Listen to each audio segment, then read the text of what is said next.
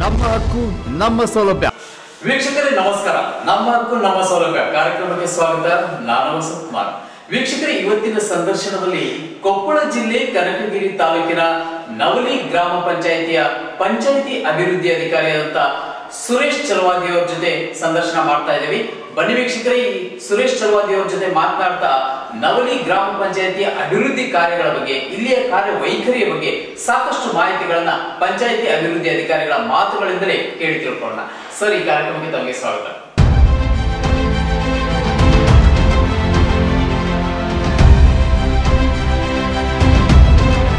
ಕೊಪ್ಪಳ ಜಿಲ್ಲೆ ಕನಕಗಿರಿ ತಾಲೂಕಿನ ನವಲಿ ಗ್ರಾಮ ಪಂಚಾಯತ್ ಅಭಿವೃದ್ಧಿ ಅಧಿಕಾರಿಗಳಾದ ಸುರೇಶ್ ಚಲವಾದಿ ಅವರ ಜೊತೆ ವಿಶೇಷ ಸಂದರ್ಶನ ನಮ್ಮ ಹಕ್ಕು ನಮ್ಮ ಸೌಲಭ್ಯ ಕಾರ್ಯಕ್ರಮದಲ್ಲಿ, ನಿಮ್ಮ ನೆಚ್ಚಿನ N K S T four ಚಾನೆಲ್ನಲ್ಲಿ.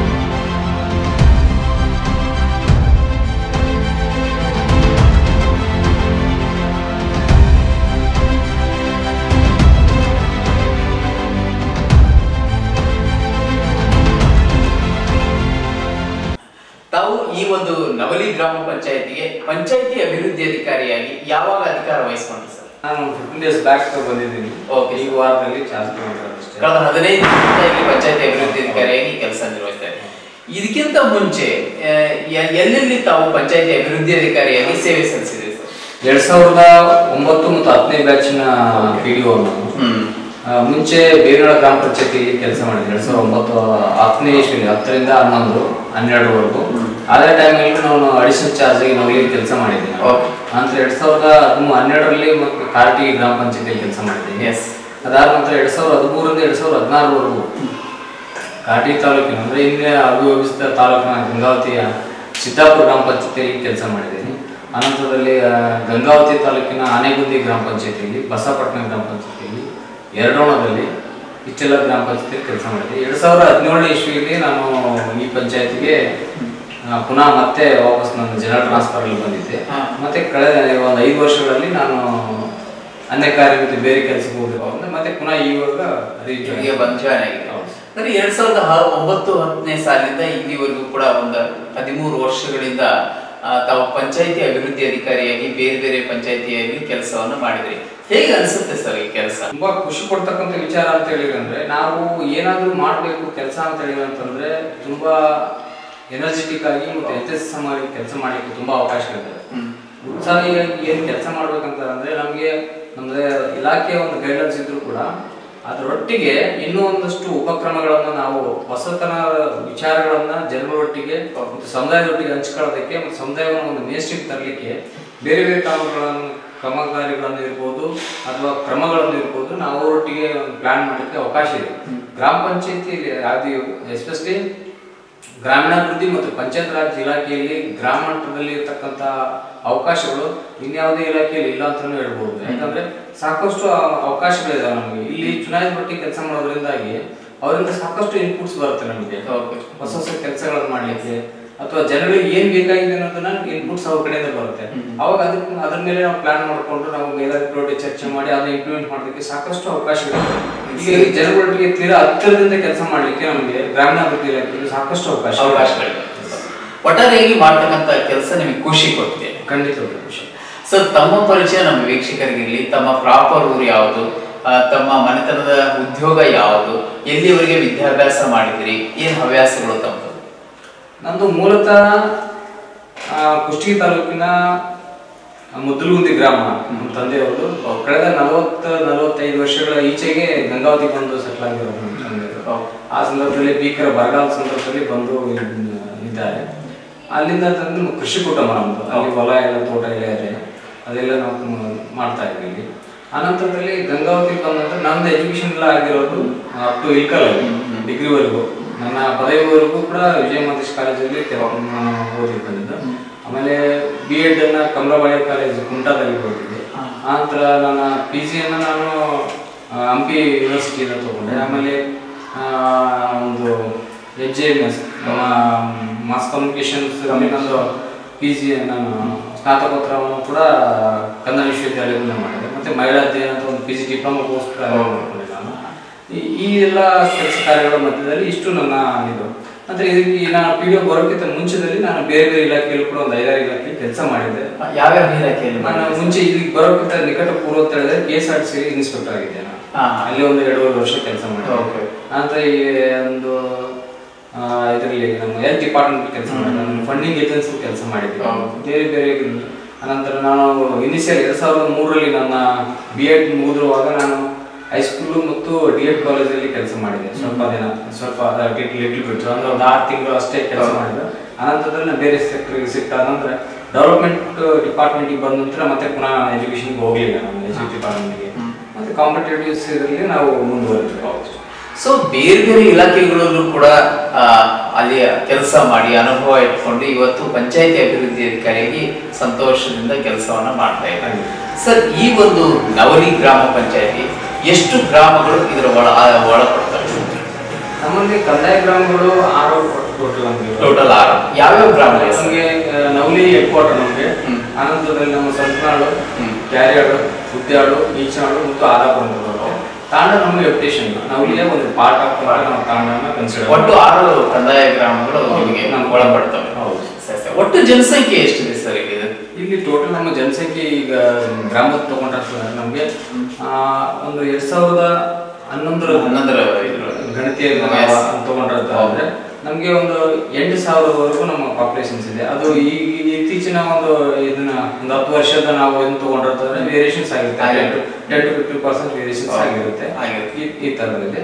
ಈ ಸದ್ಯಕ್ಕೆ ಪ್ರಸ್ತುತ ನಮ್ಮ ಗ್ರಾಮ ಪಂಚಾಯತಿಯಲ್ಲಿ ಇಪ್ಪತ್ತೈದು ಜನ ಸದಸ್ಯರಿದ್ದಾರೆ. ಅದರಲ್ಲಿ ಹದಿನಾಲ್ಕು ಜನ ಮಹಿಳಾ ಸದಸ್ಯರು ಮತ್ತು ಹನ್ನೊಂದು ಜನ ಪುರುಷ ಸದಸ್ಯರಿದ್ದಾರೆ ಪುರುಷ ಸದಸ್ಯರು. ಒಟ್ಟು ಟೋಟಲ್ ಆಗಿ ಎಷ್ಟು ಜನ ಸದಸ್ಯರು? ಇಪ್ಪತ್ತೈದು ಜನ. ಇಪ್ಪತ್ತೈದು ಜನ. ಹೌದು. ಇಪ್ಪತ್ತೈದು ಜನ ಸದಸ್ಯರನ್ನ ಒಳಗೊಂಡಂತ ಈ ಒಂದು ನವಲಿ ಗ್ರಾಮ ಪಂಚಾಯತಿ. ಇಲ್ಲಿಯ ಗ್ರಾಮಗಳಲ್ಲಿ ಏನು ವೈಶಿಷ್ಟ್ಯತೆ ಇದೆ ಸರ್? ಅಂದ್ರೆ ಕೆಲವೊಂದು ಗ್ರಾಮಗಳು ಐತಿಹಾಸಿಕ ಪ್ಲೇಸ್ ಅನ್ನ ಹೊಂದಿರ್ತವೆ. ಒಂದು ಹಿನ್ನೆಲೆಯನ್ನ ಹೊಂದಿರ್ತೇವೆ ಅದು ಒಂದು ಅಲ್ಲಿ ಅಂತ ಒಬ್ಬ ವ್ಯಕ್ತಿ ರಾಜ್ಯ ಮಟ್ಟದಲ್ಲಿ ಗುರುತಿಸುವಂತ ಕೆಲಸ ಮಾಡ್ಕೊಂಡಿರ್ತಾರೆ. ಸೊ ಅಂತವೇನಾದ್ರೂ ವಿಶೇಷತೆ. ನಿಮ್ಮ ಗ್ರಾಮ ಪಂಚಾಯತಿ ತುಂಬಾ ಇದಾವೆ. ಇಲ್ಲಿನ ಒಂದು ಎರಡು ಮೂರು ಘಟನೆಗಳನ್ನ ನಿಮ್ಗೆ ಸಮೀಕರಿಸಕ್ಕೆ. ಇಲ್ಲಿ ಮಾಕಣ್ಣ ಕಂಬಳಿ ವೃತ್ತ ಅಂತ ನೀವು ಬರ್ಬೇಕಂತ ನೋಡಿರ್ತೀರ. ಅವರು ಸ್ವತಂತ್ರ ಹೋರಾಟ.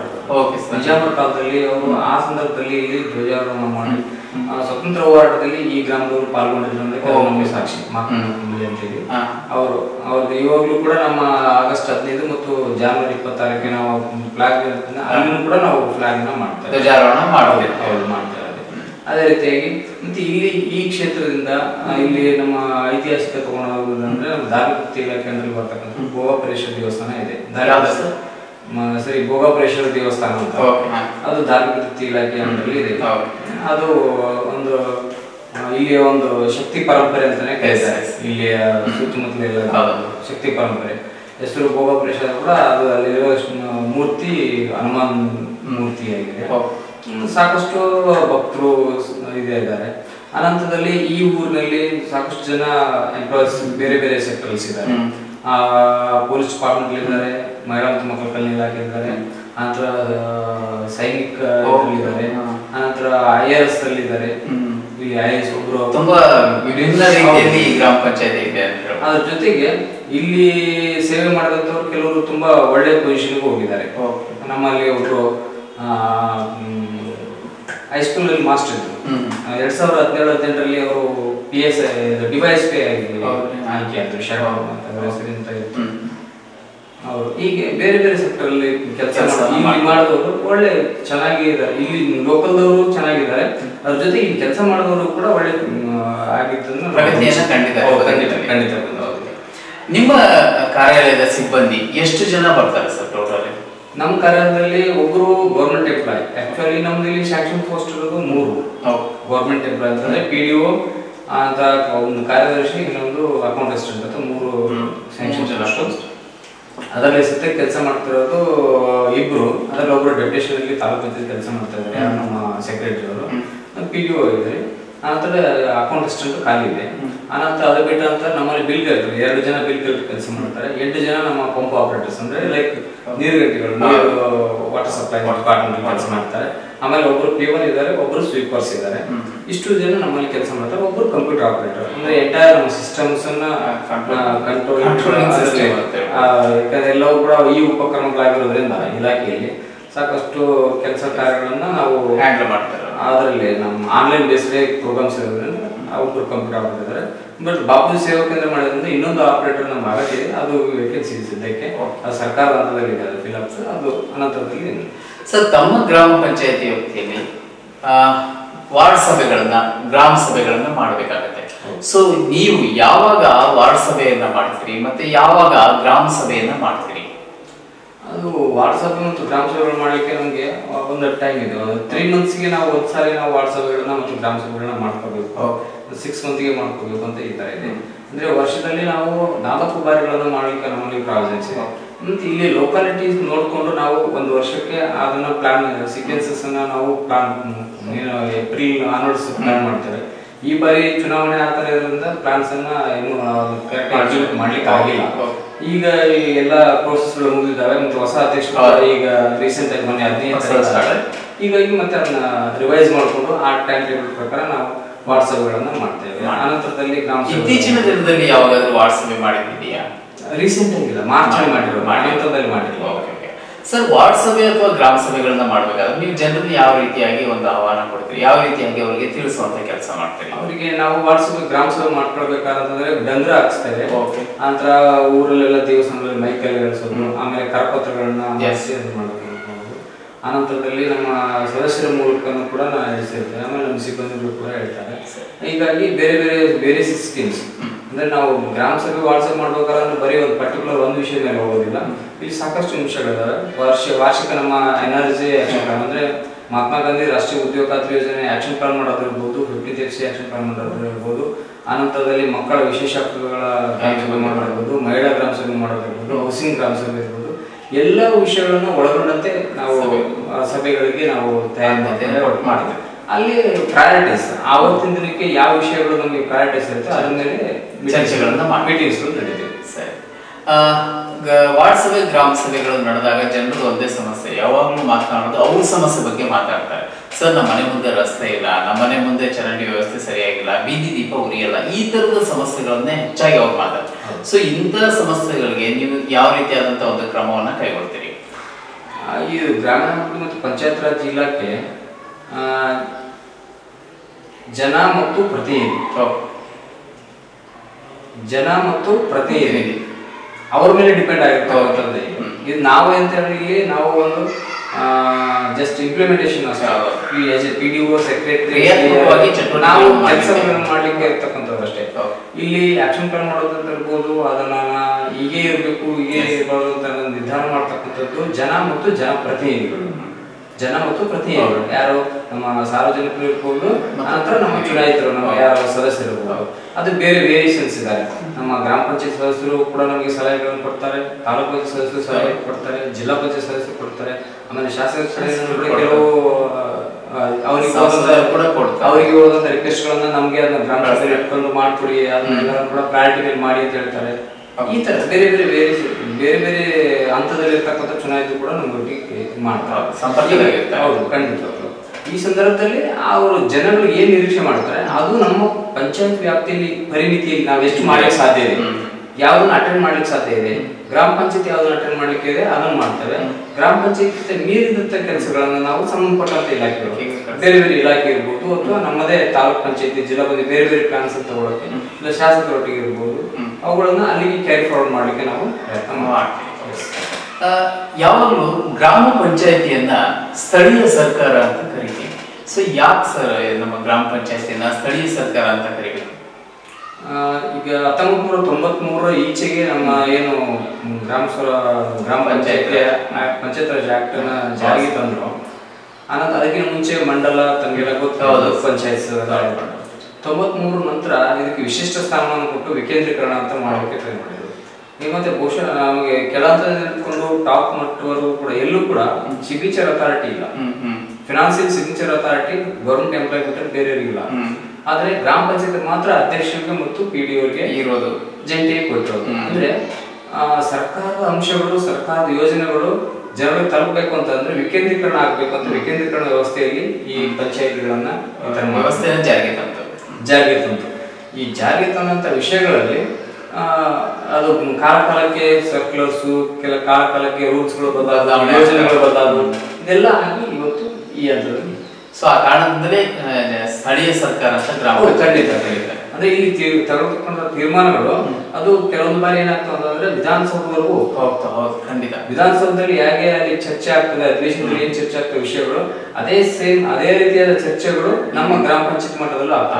ಅಂದ್ರೆ ಅಲ್ಲಿ ರಾಜ್ಯ ಮಟ್ಟದ ವಿಷಯಗಳ ಚರ್ಚೆ ಆದ್ರೆ ಇಲ್ಲಿ ಗ್ರಾಮ ಮಟ್ಟದ ವಿಷಯಗಳು ಚರ್ಚೆ ಆಗ್ತವೆ ಇದು ನಮ್ಮ ಡೆವಲಪ್ಮೆಂಟ್ಸ್ ವಿಷಯ ಆಗಿರ್ಬೋದು ಅಥವಾ ನಮ್ಮ ಬೇರೆ ನಿಮಗೆ ಮಾನವ ಅಭಿವೃದ್ಧಿ ಸೂಚನೆಗಳು ಬರ್ತಕ್ಕಂಥ ಹೆಲ್ತ್ ಎಜುಕೇಶನ್ ಅಂಡ್ ತಲಾದಾಯ. ಈ ಮೂರು ಅಂಶಗಳ ಬಗ್ಗೆನೂ ಕೂಡ ಇಲ್ಲಿ ನಮ್ಮನ್ನು ಚರ್ಚೆ ಆಗ್ತವೆ ಮಹಿಳೆ ಮತ್ತು ಮಕ್ಕಳ ರಕ್ಷಣೆ ಬಗ್ಗೆ ಇರ್ಬೋದು ಅವರ ಪೌಷ್ಟಿಕಾಂಶದ ಬಗ್ಗೆ ಇರ್ಬೋದು ಅವರ ಶಿಕ್ಷಣದ ಆರೋಗ್ಯದ ಬಗ್ಗೆ. ಆರೋಗ್ಯದ ಬಗ್ಗೆ ಇರ್ಬೋದು ಶೈಕ್ಷಣಿಕವಾಗಿ. ಅವರಿಗೆ ಏನು ಬೇರೆ ಬೇರೆ ಉದ್ಯೋಗಗಳನ್ನು ಕಲ್ಪಿಸಿದ ರೀತಿಯಲ್ಲಿ ಇರ್ಬೋದು ಇವೆಲ್ಲವೂ ಕೂಡ ರಾಜ್ಯ ಮಟ್ಟದಲ್ಲಿ ರಾಜ್ಯದ ವಿಚಾರಗಳು ಚರ್ಚೆ ಅಂದ್ರೆ ಗ್ರಾಮ ಮಟ್ಟದಲ್ಲಿ ಮತ್ತು ಗ್ರಾಮ ಪಂಚಾಯತಿ ಮಟ್ಟದಲ್ಲಿ ಗ್ರಾಮ ಮಟ್ಟದಲ್ಲಿ ಏನ್ ಮಾಡಬಹುದು ನಾವು ಅನ್ನೋದು ವಿಚಾರ ಚರ್ಚೆ ಆಗ್ತದೆ. ಇಲ್ಲಿ ತಗೊಂಡ ತೀರ್ಮಾನಗಳು ಇಲ್ಲಿ ಇಂಪ್ಲಿಮೆಂಟ್ ಮಾಡ್ಲಿಕ್ಕೆ ಸಾಧ್ಯ ಇದೆ ನಮಗೆ. ಆ ತರ ಪಾಸ್ ಮಾಡೋದ್ರ ಮೂಲಕ ಅದನ್ನ ಅದು ಅದನ್ನ ಸರ್ಕಾರದ ನೀತಿ ನಿಯಮಗಳಿಗೆ ಒಳಪಟ್ಟು ನಾವು ಆ ಒಂದು ನಿರ್ಧಾರಗಳನ್ನು ತಗೊಂಡು ಅದನ್ನ ಅನುಷ್ಠಾನ ಮಾಡಲಿಕ್ಕೆ ನಮ್ಗೆ ಅವಕಾಶ ಇದೆ. ಯಥೇಚ್ಛವಾದ ಅವಕಾಶ ಇರೋದ್ರಿಂದ ಇದು ಸ್ಥಳೀಯ ಸರ್ಕಾರ ಅಂತ ಮಾಡಿ ಹೇಳ್ಕೊಂಡು ನಾವು ಸರ್ ಸರ್ ತಮ್ಮ ಗ್ರಾಮ ಪಂಚಾಯತಿ ವ್ಯಾಪ್ತಿಯಲ್ಲಿ ಬರುವಂತ ಈ ಆರು ಗ್ರಾಮಗಳಲ್ಲಿ ಜನರಿಗೆ ಗ್ರಾಮಸ್ಥರಿಗೆ ತಾವು ಮೂಲಭೂತ ಸೌಲಭ್ಯಗಳನ್ನು ಒದಗಿಸಿಕೊಟ್ಟಿದ್ದಾರೆ? ಖಂಡಿತವಾಗ್ಲೂ ಮೂಲಭೂತ ಸೌಕರ್ಯಗಳನ್ನು ನಾವು ಮೇಜರ್ ನಮಗೆ ಮುಖ್ಯವಾಗಿ ಪರಿಗಣಿಸ್ತಕ್ಕಂಥದ್ದು ಇಲ್ಲಿ ಕುಡಿಯೋ ನೀರು ಎಸ್ ಬೀದಿ ದೀಪ ಇದು ನಮ್ಮ ಪ್ರಯಾರಿಟೀಸ್ ಆಮೇಲೆ ಸ್ವಚ್ಛತ್ವಕ್ಕಾಗಿ ಅವರ ಇಂಡಿವಿಜುವಲ್ ಟಾಯ್ಲೆಟ್ಸ್ ಇರ್ಬೋದು ಅಥವಾ ಕಲರ್ ಟಾಯ್ಲೆಟ್ಸ್ ಇರ್ಬೋದು ಇವುಗಳು ಮತ್ತೆ ಕಸ ವಿಲೇವಾರಿ ಇದು ಮುಖ್ಯವಾಗಿ ನಾವು ತಲುಪಿಸ್ತಕ್ಕಂಥ ಮುಟ್ಟಿಸ್ತಾ ಇದ್ದೀವಿ. ನಮ್ದು ನಿರ್ವಹಣೆ ಅಂತಂದ್ರೆ ಮತ್ತೆ ಇನ್ನು ಹೊಸ ಕಾಮಗಾರಿಗಳಂತಂದ್ರೆ ಆಯಾ ವಿಶೇಷವಾದಂಥ ಯೋಜನೆ ತಕ್ಕಂಗೆ ಬರ್ತಕ್ಕಂಥ ಗ್ರಾಂಟ್ಸ್ ಮತ್ತು ಅಲ್ಲಿ ಮಾಡ್ತಕ್ಕಂಥ ಪ್ಲಾನ್ ಮೇಲೆ ಡಿಪೆಂಡ್ ಆಗಿ ಹೋಗ್ತಾರೆ ಸರ್ ತಾವು ಆ, ಗ್ರಾಮದ ಸರ್ವಾಂಗೀಣ ಅಭಿವೃದ್ಧಿಗೋಸ್ಕರ ಸರ್ಕಾರ ಹಲವಾರು ಯೋಜನೆಗಳನ್ನು ಜಾರಿಗೆ ತರುತ್ತೆ. ಅದರಲ್ಲೂ ಮುಖ್ಯವಾಗಿ ಅಂತಂದ್ರೆ ಮಹಾತ್ಮ ಗಾಂಧಿ ರಾಷ್ಟ್ರೀಯ ಉದ್ಯೋಗ ಖಾತ್ರಿ ಯೋಜನೆ. ಈ ಯೋಜನೆಯನ್ನ ಸರ್ಕಾರ ಯಾಕೆ ಜಾರಿಗೆ ತಂತು ಅಂತ? ಯಾವ ಉದ್ದೇಶವನ್ನ ಇಟ್ಕೊಂಡು ಈ ಯೋಜನೆಯನ್ನು ಜಾರಿಗೆ ತರಲಾಗಿದೆ ಮಹಾತ್ಮ ಗಾಂಧಿ ರಾಷ್ಟ್ರೀಯ ಉದ್ಯೋಗ ಖಾತ್ರಿ ಯೋಜನೆ ತಮಗೆ ಗೊತ್ತಿದ್ದಂಗೆ ಎರಡ್ ಸಾವಿರದ ಐದನೇ ಇಸ್ವಿಯಿಂದ ಇದೆ. ನ್ಯಾಷನಲ್ ಲೆವೆಲ್ ಸ್ಟಾರ್ಟ್ ಆಗಿರೋದು. ನಮ್ಮ ಕರ್ನಾಟಕದಲ್ಲಿ ಎರಡ್ ಸಾವಿರದ ಎಂಟರಿಂದ ಪ್ರಾರಂಭ ಆಯಿತು. ಇದು ಪ್ರಾರಂಭ ಆದಾಗಿಂದ ಹಲವಾರು ವ್ಯತ್ಯಾಸಗಳು ಮಾಡಿಫಿಕೇಶನ್ಗಳು ಆಗ್ತಾ ಬಂದಿದ್ದಾವೆ ಏನಂದ್ರೆ ಮುಂಚಿತವಾಗಿ ಒಂದು ಎನ್ ಎಂ ಆರ್ ಕೈಲಿ ಬರೀತಕ್ಕಂಥದ್ದು ಎನ್ ಎಂ ಆರ್ ಇತ್ತು. ಆನಂತರ ಪ್ರಿಂಟೆಡ್ ಎನ್ ಎಂ ಆರ್ಸ್ ಇತ್ತು ಆಮೇಲೆ online based N M R ಇತ್ತು ಈಗ ಎನ್ ಎಂ ಎಂ ಎಸ್ ಬಂದಿದೆ ಎಲ್ಲ ಬಯೋಮೆಟ್ರಿಕ್ ಆಗಿದೆ. ಪೇಮೆಂಟ್ಸ್ ಕೂಡ ಮುಂಚೆ ಯಾವಾಗ ಬ್ಯಾಂಕ್ ಮೂಲಕ ಚೆಕ್ ಮೂಲಕ ಕೊಡ್ತಾ ಇದ್ರು. ಆ ನಂತರದಲ್ಲಿ ಅದನ್ನ ಪಾವತಿ ಸಿಸ್ಟಮ್ ಚೇಂಜ್ ಆಯಿತು. ಆಮೇಲೆ ಈಗೆಲ್ಲ ನಮಗೆ ಕೀ ಮೂಲಕನೇ ಅವ್ರಿಗೆ ಪೇಮೆಂಟ್ ಮಾಡೋದು ಡಿ ಬಿ ಟಿ ಆಗ್ತಾ ಇದೆ. ಡೈರೆಕ್ಟ್ ಟು ಬೆನಿಫಿಷಿಯರಿ ಟ್ರಾನ್ಸ್ಫರ್ ಆಗ್ತಾ ಇದೆ. ಅಂದ್ರೆ ಇದೆಲ್ಲವೂ ಕೂಡ ಕಾಲಕಾಲಕ್ಕೆ ಕಾಲ ಕಾಲ ತಕ್ಕಂಗೆ ಬದಲಾವಣೆಗಳನ್ನ ವ್ಯತ್ಯಾಸ- ವ್ಯತ್ಯಾಸಗಳಾಗಿವೆ ಆ ಆಗ್ತಾ ಇದೆ. ಕಾರ್ಯಕ್ರಮದಲ್ಲಿ. ಅಂದ್ರೆ ಬಹುಶಃ ಪ್ರಪಂಚದಲ್ಲಿ ಅತಿ ಹೆಚ್ಚು ಜನರನ್ನ ತಲುಪಿರುವ ಕಾರ್ಯಕ್ರಮ ಅಂತ ಹೇಳಿ ಏನಾದ್ರು ಅದು ಮಹಾತ್ಮ ಗಾಂಧಿ ರಾಷ್ಟ್ರೀಯ ಯೋಜನೆ. ಇದು ನ್ಯಾಷನಲ್ ಲೆವೆಲ್ ಅಲ್ಲಿ ಗೊತ್ತಾಗಿರ್ತಕ್ಕಂಥದ್ದು ಇನ್ನೊಂದು ಪಾಯಿಂಟ್ಸ್ ಬರುತ್ತೆ. ಯಾಕಂದ್ರೆ ಈ ಯೋಜನೆಯನ್ನ ಜಾರಿಗೆ ತರೋಕ್ಕಿಂತ ಮುಂಚೆ ಸರ್ಕಾರ ಗ್ರಾಮೀಣ ಪ್ರದೇಶದ ಜನರು ಉದ್ಯೋಗ ಸಿಗಲಾರದಂತ ಸಂದರ್ಭದಲ್ಲಿ ಬೇರೆ ಕಡೆ ವಲಸೆ ಹೋಗುವಂತದ್ದಿತ್ತು ಗುಳೆ ಹೋಗ್ತಾ ಇದ್ರು. ಬಟ್ ಯಾವಾಗ ಈ ಯೋಜನೆಯನ್ನ ಜಾರಿಗೆ ತಂದ್ರು ಉದ್ಯೋಗ ಅವರಿಗೆ ಮೂಲ ಊರಿನಲ್ಲಿ ಅವರ ಗ್ರಾಮದಲ್ಲಿ ಅವರಿಗೆ ಉದ್ಯೋಗ ಸಿಗೋದ್ರಿಂದ ಅವರು ವಾಸ್ತವಿಕವಾಗಿ ಗುಳೆ ಹೋಗುವ ಸಂಸ್ಕೃತಿಯನ್ನ ಬಿಟ್ರು. ಸೊ ಹೀಗಾಗಿ ಈ ಯೋಜನೆ ಬಂದಾಗಿಂದ ಬಹುತೇಕ ಗ್ರಾಮಗಳಲ್ಲಿರುವಂತಹ ಗ್ರಾಮಸ್ಥರು ಗುಳೆ ಹೋಗೋದು ಕಡಿಮೆ ಆಗಿದೆಯಾ ಅನ್ನೋದು ನಿಮ್ಮಲ್ಲಿ ಹೇಗಿದೆ ಸರ್? ಖಂಡಿತ ಕಡಿಮೆ ಆಗಿದೆ ಅಂತ ಹೇಳ್ಬೋದು. ಯಾಕಂದ್ರೆ ನಮಗೆ ಇವತ್ತು ನಾವು ಮುಂಚೆ ಕಾರ್ಯಕ್ರಮ ಪ್ರಾರಂಭ ಆದಾಗ ಎಂಬತ್ತು ರೂಪಾಯಿ ಕೂಲಿ ಎಂಬತ್ತೆರಡು ರೂಪಾಯಿ ಆಯ್ತು. ನೂರು ರೂಪಾಯಿ ಆಯ್ತು. ಹೀಗೆ ವೇರಿಯೇಷನ್ಸ್ ಆಗಿದೆ ಇವತ್ತು ಮುನ್ನೂರ ಹತ್ತೊಂಬತ್ತು ರೂಪಾಯಿ ಸೊ ಏನು ಉದ್ಯೋಗ ಖಾತ್ರಿ ಯೋಜನೆ ತಮ್ಮ ಗ್ರಾಮ ಪಂಚಾಯತಿಯಿಂದ ಎಷ್ಟು ಕುಟುಂಬಗಳಿಗೆ ತಾವು ಜಾಬ್ ಕಾರ್ಡ್ಗಳನ್ನು ನೀಡಿ ಈಗ ನಮ್ಮಲ್ಲಿ ಇರ್ತಕ್ಕಂಥ ಕುಟುಂಬಗಳು ಒಂದ್ ಸಾವಿರದ ಏಳ್ನೂರ ನಲವತ್ತೆಂಟು ಕುಟುಂಬಗಳಿದಾವೆ. ಒಂದ್ ಸಾವಿರದ ಏಳ್ನೂರ ನಲವತ್ತೆಂಟು. ಕುಟುಂಬಗಳನ್ನ ನಾವು ಗ್ರೂಪ್ ಮಾಡ್ತಕ್ಕಂಥದ್ದು ಆದ್ರೆ ನಮ್ಮಲ್ಲಿ ಅದೇ ಈಗ ಒಂದೇ ಮನೆ ಇರುತ್ತೆ. ಕುಟುಂಬ ಅಂದ್ರೆ ಒಂದೇ ಮನೆ ಇರುತ್ತೆ. ಆದ್ರೆ ಅರ್ಥಗಳು ಬೇರೆ ಇರುತ್ತೆ. ಡಿವೈಡ್ ಆಗಿ ಆ ಸಂದರ್ಭದಲ್ಲಿ ನಾವು ಟೋಟಲ್ ಜಾಬ್ ಕಾರ್ಡ್ಸ್ ಎರಡ್ ಸಾವಿರದ ಐನೂರ ಹನ್ನೆರಡು ಜಾಬ್ ಕಾರ್ಡ್ ಇಲ್ಲಿವರೆಗೂ ವಿತರಣೆ ಮಾಡಿದ್ವಿ ನಾವು. ಎರಡ್ ಸಾವಿರದ ಐನೂರ ಹನ್ನೆರಡು. ಸೊ ಈ ಎರಡ್ ಸಾವಿರದ ಐದುನೂರ ಹನ್ನೆರಡು ಜಾಬ್ ಕಾರ್ಡ್ಗಳು ಆಕ್ಟಿವೇಶನ್ ಇದಾವೆ ಸರ್ ಇನ್ನು ಕೆಲವೊಂದು ಖಂಡಿತ. ಎಲ್ಲವೂ ಇದಾವೆ. ಯಾವ ಯಾರು ನಮಗೆ ಒಂದು ಎರಡು ವರ್ಷಕ್ಕಿಂತ ಜಾಸ್ತಿ ಕೆಲಸ ಮಾಡಿಲ್ಲ ಅಂತ ಇನ್ಯಾಕ್ಟಿವ್ ಆಗ್ತವೆ. ಇನ್ಯಾಕ್ಟಿವ್ ಆಟೋಮೆಟಿಕ್ ಯಾಕಂದ್ರೆ ಎವ್ರಿ ಎವ್ರಿ ಇಯರ್ ನಾವು ಪ್ರತಿ ವರ್ಷ ಕೂಡ ಜಾಬ್ ಕಾರ್ಡ್ ಅನ್ನ ವ್ಯಾಲಿಡೇಷನ್ ಅಂತ ಮಾಡ್ತೇವೆ. ಅಲ್ಲಿ ಅವರ ಫೋಟೋ ಆಧಾರ್ ಕಾರ್ಡ್ ಮತ್ತು ಅವರ ಬ್ಯಾಂಕ್ ಅಕೌಂಟ್ ಅನ್ನ ನಾವು ರಿವ್ಯಾಲಿಡೇಷನ್ ಮಾಡ್ತಾ ಮಾಡ್ತೇವೆ. ಆ ಸಂದರ್ಭದಲ್ಲಿ ಯಾವುದು ನಮ್ಗೆ ರಿವ್ಯಾಲಿಡೇಷನ್ ಬರೋದಿಲ್ಲ ಯಾರು ಕೊಡೋದಿಲ್ಲ ಅಥವಾ ಯಾರು ಬಿಟ್ಬಿಟ್ಟಿರ್ತಾರೆ. ಒಂದು ವರ್ಷದಲ್ಲಿ ಮುನ್ನೂರ ದಿನದಲ್ಲಿ ಒಂದೇ ಒಂದ್ ದಿನ ಕೂಡ ಎನ್ ಎಂ ಆರ್ ಬರಲಿಲ್ಲ. ಅಥವಾ ಎನ್ ಎಂ ಆರ್ ಜನರೇಟ್ ಆಗಲಿಲ್ಲ ಅಂದ್ರೆ ಅಂತವ್ರು Activation. ಇನ್ಆಕ್ಟಿವ್ ಆಗಿರುತ್ತೆ. ಅವ್ರು ಏನ್ ತಂದು ಕೊಟ್ರೆ ಮತ್ತೆ ಆಕ್ಟಿವ್ ಆಗ್ತಾರೆ. ಸೊ ಒಂದು ಕಾರ್ಡ್ಗೆ ಒಂದು ಮನೆಗೆ ಒಂದು ಕಾರ್ಡ್ ಕೊಡ್ತೀರಿ ಜಾಬ್ ಕಾರ್ಡ್ ಈ ಒಂದು ಕಾರ್ಡ್ಗೆ ಎಷ್ಟು ದಿನ ಅವ್ರಿಗೆ ಕೆಲಸ ಕೊಡ್ತೀರಿ ಸರ್? ಈಗ ನಾವು ಒಂದು ಮನೆ ಅಂತ ಕನ್ಸಿಡರ್ ಮಾಡೋದಾದ್ರೆ ಅದರಲ್ಲಿ ನಮ್ಮ ಬೈಫರ್ಕೇಶನ್ ಮಾಡೋದಾದ್ರೆ ಒಂದು ಮನೆ ಅಂತ ಒಳಗೆ ಒಂದು ಕುಟುಂಬ ಅಂತ ಎಸ್ ಒಂದು ಕುಟುಂಬ. ಈ ಒಂದು ಮನೆ ಅಂತ ಹೇಳಿದ್ರೆ ಅಲ್ಲಿ ಅಣ್ಣ ತಮ್ಮ ಬೇರೆ. ನಾಲ್ಕೈದು ಜನ ಈ ಇನ್ನೊಬ್ರು ಕುಟುಂಬಗಳು ಮನೆ ಹೇಳಿದ್ರೆ ಮುಂದೊಬ್ರು ಮನೆ ಮಾಡ್ಕೊಂಡೇ ಹೌದು. ಅದಕ್ಕೆ ನಮ್ಮಲ್ಲಿ ಇರ್ತಕ್ಕಂಥ ಕುಟುಂಬಗಳಂತ ಅದೇ ಮನೆಗಳ ಸಂಖ್ಯೆ ಅಂತ ಹೇಳಿದ್ರೆ ನಾವು ಹದಿನೇಳು ನಲವತ್ತೇಳು. ಆದರೆ ಕುಟುಂಬಗಳ ಸಂಖ್ಯೆ ಎರಡು ಕುಟುಂಬಗಳ ಸಂಖ್ಯೆ ಜಾಸ್ತಿ ಇದೆ. ಕಾಡುಗಳ ಸಂಖ್ಯೆ ಜಾಸ್ತಿ ಆಗಿದೆ ಅಲ್ಲಿ ಒಂದು ಒಂದು ಕಾಡಿಗೆ ನಾವು ನೂರು ದಿನಗಳ ಮಾನವ ಕೊಡ್ತೀವಿ. ಸೃಷ್ಟಿಯನ್ನು ಕೊಡ್ತೀವಿ. ಮಾನವ ದಿನಗಳನ್ನ ಕೊಡ್ತೇವೆ. ಅಂದ್ರೆ ಅದು ಎರಡು ತರದಲ್ಲಿ ಆಗ್ತಾ ಇದೆ. ಒಂದು ಬರ ಅಂತ ಘೋಷಣೆ ಆಗಿ. ಇದು ಮಾಡಿದಾಗ ಅದು ನೂರೈವತ್ತು ಘೋಷಣೆ ಮಾಡಿದಾಗ ಸರ್ಕಾರ. ಘೋಷಣೆ ಆದಾಗ ಅದು ನೂರೈವತ್ತು ಕೂಡ ಎಕ್ಸ್ಟೆಂಡ್ ಆಗುತ್ತೆ. ದಿನ ಎಕ್ಸ್ಟ್ರಾ ಎಕ್ಸ್ಟೆಂಡ್ ಬರುತ್ತೆ. ಈ ಸದ್ಯಕ್ಕೆ ಈ ತರ ಈ ಮಟ್ಟದಲ್ಲ ಲಾಸ್ಟ್ ಇರ್ಬೋದು ಈ ವರ್ಷ ಇರ್ಬೋದು ಆ ತರ ಯಾವುದು ಕೂಡ ಆಗಿಲ್ಲ. ನೂರು ದಿನಗಳನ್ನು ಮಾತ್ರ ನಾವು ಕೊಡ್ತಾ ಇದ್ದೀವಿ. ಕೆಲಸ ಮಾಡಿ ಎಷ್ಟು ದಿವಸಕ್ಕೆ ನೀವು ಅವರ ಅಕೌಂಟಿಗೆ ಜಮಾ ಮಾಡ್ತೀರಿ? ಒನ್ ವೀಕ್ ಒಂದು ವಾರದಲ್ಲಿ ಅವರಿಗೆ ಜಮಾ ಆಗುತ್ತೆ. ಅವರಿಗೆ ಒಂದು ವಾರದ ನಾವು ಇದನ್ನ ಎನ್ ಎಂ ಆರ್ ಅಂತ ತೆಗಿತೇವೆ ಅವ್ರ ನಾಮಿನಲ್ ಮಾಸ್ಟರ್ ತೆಗಿತೇವೆ. ನಂತರ ಒಂದು ವಾರ ಅದನ್ನು ನಾವು ವೆರಿಫಿಕೇಶನ್ಸ್ ಆಮೇಲೆ ಫೀಲ್ಡ್ ಆಮೇಲೆ ಅವರ ಇನ್ನಿತರ ನಾವು ರೆಕಾರ್ಡ್ಸ್ಗಳನ್ನ ಅಪ್ಡೇಟ್ ಮಾಡಿಕೊಂಡು ಒಂದು ವಾರದಲ್ಲಿ ಅವರಿಗೆ ಪಾವತಿಯನ್ನು ಮಾಡೋದಕ್ಕೆ ಕ್ರಮ. ಈ ಒಂದು ಮಹಾತ್ಮ ಗಾಂಧಿ ರಾಷ್ಟ್ರೀಯ ಉದ್ಯೋಗ ಖಾತ್ರಿ ಯೋಜನೆಯಡಿಯಲ್ಲಿ ತಮ್ಮ ಗ್ರಾಮ ಪಂಚಾಯತಿ ವತಿಯಿಂದ ಯಾವ್ಯಾವ ಗ್ರಾಮದಲ್ಲಿ ಈ ಸಾಮೂಹಿಕವಾಗಿ ಕಾಮಗಾರಿಯನ್ನು ಕೈಗೆತ್ತಿಕೊಂಡಿದೆ ಕೈಗೆತ್ತಿಕೊಂಡಿದ್ದೀರಿ? ಸಾಮೂಹಿಕವಾಗಿ. ಈ ಎಲ್ಲ ಗ್ರಾಮಗಳಲ್ಲೂ ಕೂಡ ಏನು ನಮ್ಮ ಈಗ ಆರು ಗ್ರಾಮಗಳು ಪ್ಲಸ್ ಒಂದು ಏನು ಅಡಿಷನಲ್ ಗ್ರಾಮ ಎಲ್ಲ ಗ್ರಾಮಗಳಲ್ಲೂ ಕೂಡ ನಾವು ಎಕ್ಸಾಮ್ ಸಮುದಾಯ ಕಾರ್ಯ ಕಾಮಗಾರಿಗಳನ್ನು ತಗೊಂಡಿದ್ವಿ. ಇಂಡಿವಿಜುವಲ್ ಕಾಮಗಾರಿಗಳನ್ನ ಈ ಬಾರಿ ಏನ್ ಮಾಡಿದ್ವಿ ಸಾಮೂಹಿಕವಾಗಿ ಯಾವ ಯಾವ ಕಾಮಗಾರಿಗಳು ಅಂದ್ರೆ ಕೆರೆ. ಕೆರೆ ಉಳಿತು ಕಾರ್ಯಕ್ರಮ ತಗೊಂಡಿದ್ದೀವಿ. ಆಮೇಲೆ ಹಳ್ಳ ಡಿಶಿಲ್ಟಿಂಗ್ಸ್ ಎಲ್ಲ ನಮ್ಮಲ್ಲಿ ಇದೆ ಅದನ್ನ ತಗೊಂಡಿದ್ದೀವಿ. ಆಮೇಲೆ ಬದು ನಿರ್ಮಾಣಗಳು ಅಂತ. ಇಂಡಿವಿಜುವಲ್ಸ್ ಅಂದ್ರೆ ದನ ಶೆಡ್ ಮಾಡೋದು ಗುರಿ ಶೆಡ್ ಮಾಡುವಂಥದ್ದು ಅವುಗಳನ್ನು ಮಾಡ್ತಾ ಇದ್ವಿ. ಆಮೇಲೆ ಇವರಿಗೆ ಅಂದ್ರೆ ಕೆರೆ ಉಳಿತದೊಂದಿಲ್ಲ ಯಾವ ಯಾವ ಗ್ರಾಮಗಳಲ್ಲಿ ಕೆರೆ ಉಳಿತ ಕೆಲಸ ಮಾಡಿದ್ರಿ? ಈಗ ನಮ್ಗೆ ಬೈರಾಪುರದಲ್ಲಿ ಕೆರೆ ಹೋಗುವಂತ ಕಾರ್ಯಕ್ರಮ ಮಾಡಿದೀವಿ ಆಮೇಲೆ ನೌ ನವಲಿಯಲ್ಲೂ ಕೂಡ ಆಗಿದೆ. ಆನಂದದಲ್ಲಿ ಆದಾಪುರದಲ್ಲಿ ಆಗಿದೆ. ಇವೆಲ್ಲ ನಡೆದಿದೆ. ನಾಲಾ ಹೂಳೆತ್ತ ಕೆಲಸ ಆಗಿಲ್ಲ ಸರ್ ಈ ಭಾಗದಲ್ಲಿ? ನಾಲಾ ಅಂತ ಹೇಳಿದ್ರೆ ನೀವು ಮುಖ್ಯವಾಗಿ ಇದು ನಮ್ಮ ಇರಿಗೇಟೆಡ್ ಬೆಲ್ಟ್ ಅಲ್ಲಿ ನಮಗೆ ನಾಲಾ ಉಳಿತು ಬರ್ತವೆ. ನಮ್ಮಲ್ಲಿ ಆ ತರದ ದೊಡ್ಡ ನಾಲಗಳು ಇಲ್ಲ. ಹಳ್ಳ ಇದೆ. ಹಳ್ಳದಲ್ಲಿ ಒಂದಷ್ಟು ಮಾಡಿಸಿದೀವಿ ನಾವು ಈ ಬಾರಿ. ಯಾಕಂದ್ರೆ ನೀರು ನಮಗೆ ಅವಶ್ಯಕತೆ ಸರ್ಫೇಸ್ ಆಗಿ ಇದು ಆಗ್ಬೇಕು ಅನ್ನೋ ಕಾರಣಕ್ಕೆ ಮಾಡಿದ್ವಿ ಮಾಡಿ. ಸೊ ವೈಯಕ್ತಿಕವಾಗಿ ಗ್ರಾಮಸ್ಥರು ಈ ಉದ್ಯೋಗ ಖಾತ್ರಿ ಯೋಜನೆ ಒಳಗೆ ಯಾವ್ಯಾವ ಕಾಮಗಾರಿಗಳನ್ನ ತಗೋಬಹುದು? ವೈಯಕ್ತಿಕವಾಗಿ. ವೈಯಕ್ತಿಕವಾಗಿ ಕುರಿ ಶೆಡ್ ಮಾಡ್ಕೋಬಹುದು. ಸನ್ ಸೆಟ್ ಮಾಡ್ಕೋಬಹುದು ಅವ್ರು ತಮ್ಮ ಮನೆ ಮುಂದೆ ಗಿಡ ನೆಡೋದು ಮಾಡ್ಕೋಬಹುದು ತಮ್ಮ ಹೊಲಗಳಲ್ಲಿ ಅವರು ಬದು ನಿರ್ಮಾಣ ಮಾಡ್ಕೋಬಹುದು ಆಮೇಲೆ ಅಲ್ಲಿ ತಮ್ಮ ಹೊಲದಲ್ಲೂ ಕೂಡ ಇವನ ಸಸಿಗಳು ನೆಡೋದಿರ್ಬೋದು ಅಥವಾ ತೋಟಗಾರಿಕೆ ಇಲಾಖೆ ಬೆಳೆಗಳನ್ನ ಬೆಳ್ಕೊಳ್ಳೋದಿರ್ಬೋದು. ಈ ತರ ಬೇರೆ ಇಂಗು ಗುಂಡಿಗಳು ಇಂಗು ಗುಂಡಿ ಇದು ಊರಲ್ಲಿ ಇಂಗು ಗುಂಡಿ ಅಂದ್ರೆ ಹಿಂದೆ ನಮ್ಗೆಲ್ಲ ಇಂಗು ಬಚ್ಚಲಗಳು ಇರ್ತಿದ್ವ ಅದೇ ಸೇಮ್ ಯಾಕಂದ್ರೆ ಎಲ್ಲ ಸಿ ಸಿ ರೋಡ್ಗಳು ಬಂದು ಊರಲ್ಲಿ ಮಳೆ ಬಂದಿದ್ದ ನೀರೆಲ್ಲ ಹೌದು. ನಮ್ಗೆ ಎಲ್ಲಿ ಕೂಡ ಅದ ಆಗೋದ್ರಿಂದ ಏನಂತಂದ್ರೆ ಅಂತರ್ಜಲ ಹೆಚ್ಚಳ ಆಗ್ತದೆ. ಆ ಕಾರಣಕ್ಕಾಗಿ ಇಂಗು ಗುಂಡಿಗೂ ಕೂಡ ನಾವು ಪ್ರಾಸೆಸ್ ಕೊಡ್ತಾ ಇದ್ದೀವಿ. ಸರ್ ನಾವು ಬಹಳಷ್ಟು ಗ್ರಾಮಗಳಲ್ಲಿ ನೋಡ್ತಾ ಇರ್ತೀವಿ ಮತ್ತೆ ಕೇಳ್ತಾ ಇರ್ತೀವಿ. ಈ ಇಂಗು ಗುಂಡಿ ಆಗಿರ್ಬೋದು ಕೃಷಿ ಹೊಂಡ ಆಗಿರ್ಬೋದು ಈ ತರದ ಯೋಜನೆಗಳನ್ನ ಬಳಸ್ಕೊಂಡಿರ್ತಾರೆ. ಬಿಲ್ ಆಗೋವರೆಗೂ ಇಟ್ಕೊಳ್ತಾರೆ. ಬಟ್ ಯಾವಾಗ ಬಿಲ್ ಆಯ್ತು, ದುಡ್ಡು ಬಂತು ಅಕೌಂಟ್ಗೆ, ಸ್ವಲ್ಪ ದಿನ, ಸ್ವಲ್ಪ ಒಂದು ಆರು ತಿಂಗಳನೋ, ಒಂದು ವರ್ಷ ಆದ್ಮೇಲೆ ಇನ್ನೂ ಗುಂಡಿನೂ ಇರೋಲ್ಲ, ಅಲ್ಲಿ ಕೃಷಿ ಹೊಂಡನೂ ಇರಲ್ಲ. ಸೊ ಇದು ಉದ್ದೇಶ ಈಡೇರ್ದಂಗೆ ಆಗಲ್ಲ. ಯಾವ ಉದ್ದೇಶ ಇಟ್ಕೊಂಡು ಈ ಯೋಜನೆಯನ್ನ ಜಾರಿಗೆ ತಂತ ಸರ್ಕಾರ, ಅದು ಎಲ್ಲೋ ಒಂದ್ ಕಡೆ ದಾರಿ ತಪ್ಪ ಅಥವಾ ದುರ್ಬಳಕೆ ಆಯ್ತಾ ಅನ್ನೋ ಒಂದು ಅನುಮಾನ ಕೂಡ ಹುಟ್ಟಾಕತ್ತೆ. ಸೊ ನಿಮ್ಮ ಗ್ರಾಮ ಪಂಚಾಯಿತಿಯಲ್ಲಿ ವಿಶೇಷವಾಗಿ ಗ್ರಾಮಸ್ಥರು ನೀವು ಕೊಟ್ಟಂತ ಯೋಜನೆಗಳನ್ನ ಸಮರ್ಪಕವಾಗಿ ಉಪಯೋಗ ಮಾಡ್ಕೊಂಡಿದ್ದಾರೆ ಅಥವಾ ಈ ತರ ದುರ್ಬಳಕೆ ಮಾಡ್ಕೊಂಡಿದ್ದಾರೆ? ಕಂಡು ಬಂದಿದೆ ದುರ್ಬಳಕೆ ಅನ್ನೋದಕ್ಕಿಂತ ಅವರಿಗೆ ಅದರದ ಇಂಪಾರ್ಟೆನ್ಸ್ ಗೊತ್ತಿಲ್ಲ. ಗೊತ್ತಿಲ್ಲ, ಅವ್ರಿಗೆ ಗೊತ್ತಿರಲ್ಲ. ಈಗ ದುರ್ಬಳಕೆ ಅಂತ ನಾವು ಅವ್ರನ್ನ ಹೇಳಿಕ್ಕಾಗಲ್ಲ. ಯಾಕಂದ್ರೆ ಅವ್ರಿಗೆ ಬೇಕು ಆಗಿ ಮಾಡ್ಕೊಂಡಿರ್ತಾರೆ ಅಂತಂದ್ರೆ ದುರ್ಬಳಕೆ ಮಾಡ್ಕೊಬೇಕು ಅನ್ನೋ ಉದ್ದೇಶದಿಂದ ಯಾರು ಮಾಡ್ಕೊಳ್ಳಲ್ಲ. ದುರ್ಬಳಕೆ ಅಂದ್ರೆ ಅದು ಮಾಡ್ದೇನೆ ಅವರು. ಏನಾದ್ರು ಬೇರೆ ಮಾಡ್ಬೋದಿತ್ತು ಅವ್ರು ಮಾಡ್ಕೊಂಡಿದ್ರೆ ಮಾಡ್ಕೊಂಡ್ಮೇಲೆ ಅದು ಅದನ್ನ ಉಪಯೋಗ ಹೇಗೆ ಮಾಡ್ತಾರೆ. ಉಪಯೋಗಿಸ್ಬೇಕು ಅನ್ನೋದು ಹಾ. ಗೊತ್ತಾಗಲ್ಲ. ಆದ್ರೆ ಅವ್ರ ಜ್ಞಾನ ಅದರ ಅವಶ್ಯಕತೆ ಎಷ್ಟಿದೆ ಇಂಪಾರ್ಟೆನ್ಸ್ ಎಷ್ಟಿದೆ ಅಂತ ಗೊತ್ತಿರಲ್ಲ. ಅವ್ರು ಗೊತ್ತಿಲ್ಲದೆ So, ಆ ಥರದ್ದು ಏನಾದ್ರು ನಿಮ್ಮ ಗ್ರಾಮದಲ್ಲಿ ನೀವು ಗುರುತಿಸಿದ್ದು? ಈ ಆ ಥರದ್ದೇನಿಲ್ಲ ಈ ಸದ್ಯಕ್ಕೆ ನಾವು ಹೇಳಿದಂಗೆ ಅವ್ರಿಗೆ ಇಂಪಾರ್ಟೆನ್ಸ್ ಗೊತ್ತಾಗ ಮಾತ್ರ ಮಾಡ್ತಾರೆ. ಇಂಪಾರ್ಟೆನ್ಸ್ ಗೊತ್ತಾಗಿಲ್ಲ ಅಂದ್ರೆ ಯಾರು ಮಾಡೋದಿಲ್ಲ. ಮಾಡಕ್ ಹೋಗೋದಿಲ್ಲ ಕ್ಲೈಮ್. ಹೋಗೋದಿಲ್ಲ. ನಾವು ಗಮನಿಸಿದಂಗೆ ಯಾಕಂದ್ರೆ ಇವತ್ತು ಅವ್ರ ಸ್ಟ್ರಕ್ಚರ್ ಮಾಡ್ಕೊಂಡ್ರೆ ಮಾತ್ರ ಅವ್ರಿಗೆ ಪಾವತಿ ಆಗುತ್ತೆ ಗೊತ್ತು. ಪಾವತಿ ಆಗೋ ಕಾಲಕ್ಕೆ ಅವರು ಮೂರಿಂದ ನಾಲ್ಕು ಸಾರಿ ನಮ್ಗೆ ಎಣ್ಣೆ ಎಂ ಆರ್ ಇರ್ಬೋದು ಸಾಮಗ್ರಿ ಮೊತ್ತ ಇರ್ಬೋದು ಅಂತ ತಗೋಬೇಕಾದ್ರೆ ಅವರು ಪಂಚಾಯತಿಗೆ ಬರ್ತಾರೆ. ಆ ಸಂದರ್ಭದಲ್ಲಿ ಅದ್ರ ಬಗ್ಗೆ ಎಲ್ಲ ತಿಳ್ಕೊತಾರೆ. ಮನೆ ಒಂದೇ ಸರಿ ತಿಳ್ಕೊಳ್ದೇ ಇರ್ಬೋದು ಎಣ್ಣೆ ಎನ್ ಎಂ ಆರ್ ಹಾಕಿದಾಗ.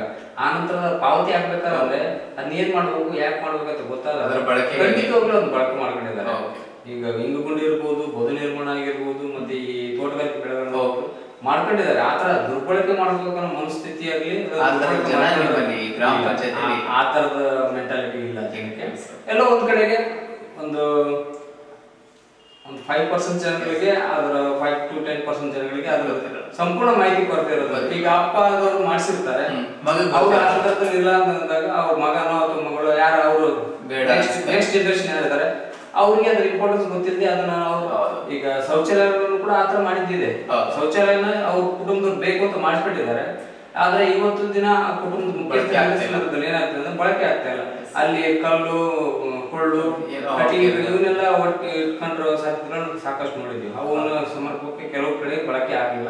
ಅವರಿಗೆ ನಾವು ತಿಳಿಸಿ ಹೇಳ್ತೇವೆ ಸರ್ ಸರ್ಕಾರ ಹಲವಾರು ಯೋಜನೆ ಜಾರಿಗೆ ತರುತ್ತೆ ಅಂತ ಹೇಳಿದೆ ಆಗಲೇ ಹಾಗೆ ಇನ್ನೊಂದು ಮುಖ್ಯವಾದ ಯೋಜನೆ, ಅದು ಕೇಂದ್ರ ಮತ್ತು ರಾಜ್ಯ ಸರ್ಕಾರದ ಅನುದಾನದಲ್ಲಿ ಬರುವಂತದ್ದು ಜೆ ಜೆ ಎಂ ಕಾಮಗಾರಿ ಜಲಜೀವನ ಮಿಷನ್ ಯೋಜನೆ ಕಾಮಗಾರಿ. ಸೊ ಮನೆ ಮನೆಗೂ ಗಂಗೆ ಅನ್ನೋ ಟೈಟಲ್ ಅಲ್ಲಿ ಪ್ರತಿ ಮನೆಗೂ ಕೂಡ ನಳವನ್ನ ಜೋಡಣೆ ಮಾಡುವಂತ ಈ ಕಾಮಗಾರಿ, ಜೆ ಜೆ ಎಂ ಕಾಮಗಾರಿ.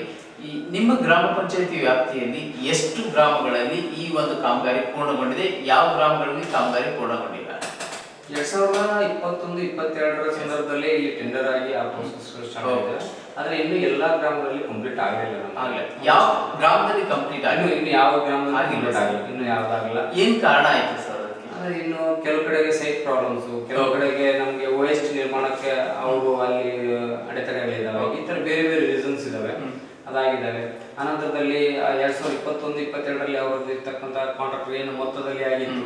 ಅದು ಇವಾಗ ವೇರಿಯೇಷನ್ಸ್ ಆಗಿದೆ. ಈ ತರ ಬೇರೆ ಬೇರೆ ಕಾರಣಗಳಿದ್ದಾವೆ ಅದು ಬಹುಶಃ ಬಟ್ ಇದ್ರ ಬಗ್ಗೆ ನೀವು ಆ ಗುತ್ತಿಗೆದಾರರಿಗೆ ಒಂದು ಸೂಚನೆ ಕೊಡುವಂಥದ್ದು ನಮಗೆ ಇಷ್ಟು ದಿನದಲ್ಲಿ ಈ ಕೆಲಸ ಕಾಮಗಾರಿ ಪೂರ್ಣ ಆಗ್ಬೇಕು ಅಂತ ಏನಾದ್ರು ಒತ್ತಾಯ ಮಾಡುವಂಥದ್ದು ಪ್ರಯತ್ನ ನಡೆದಿದೆ? ಜೆ ಜಿ ಎಂ ಅಲ್ಲಿ ವಿಷಯಗಳಂದ್ರೆ ಪ್ರತ್ಯೇಕ ಇಲಾಖೆ ಇರೋದ್ರಿಂದ ನಾವು ನೇರವಾಗಿ ಯಾವುದನ್ನು ಇಂಟರ್ಫಿಯರೆನ್ಸ್ ಮಾಡೋದಿಲ್ಲ ಗ್ರಾಮ. ಯಾವ ಯಾರು ಅದನ್ನ ಅದು- ಗ್ರಾಮೀಣ ನೀರು ನೀರು ನೀರು ಸರಬರಾಜು ಮತ್ತು ನೈರ್ಮಲ್ಯ. ಇಲಾಖೆ ಪ್ರತ್ಯೇಕ ಒಂದು ಇಲಾಖೆ ಇರೋದು. ಒಂದು ಪ್ರತ್ಯೇಕ ವಿಂಗ್ ಇರೋದ್ರಿಂದಾಗಿ ಅಲ್ಲಿ ಅದಕ್ಕೆ ಸಂಬಂಧಪಟ್ಟಂಗೆ ಅವರು ಡಬಲ್ ಜಿಲ್ಲಾ ಮಟ್ಟದಲ್ಲಿ ಇದ್ದಾರೆ ಎಕ್ಸಿಕ್ಯೂಟಿವ್ ಇಂಜಿನಿಯರ್ ಇದ್ದಾರೆ ತಾಲೂಕು ಮಟ್ಟದಲ್ಲಿ ಅಸಿಸ್ಟೆಂಟ್ ಎಕ್ಸಿಕ್ಯೂಟಿವ್ ಇಂಜಿನಿಯರ್ ಇದ್ದಾರೆ.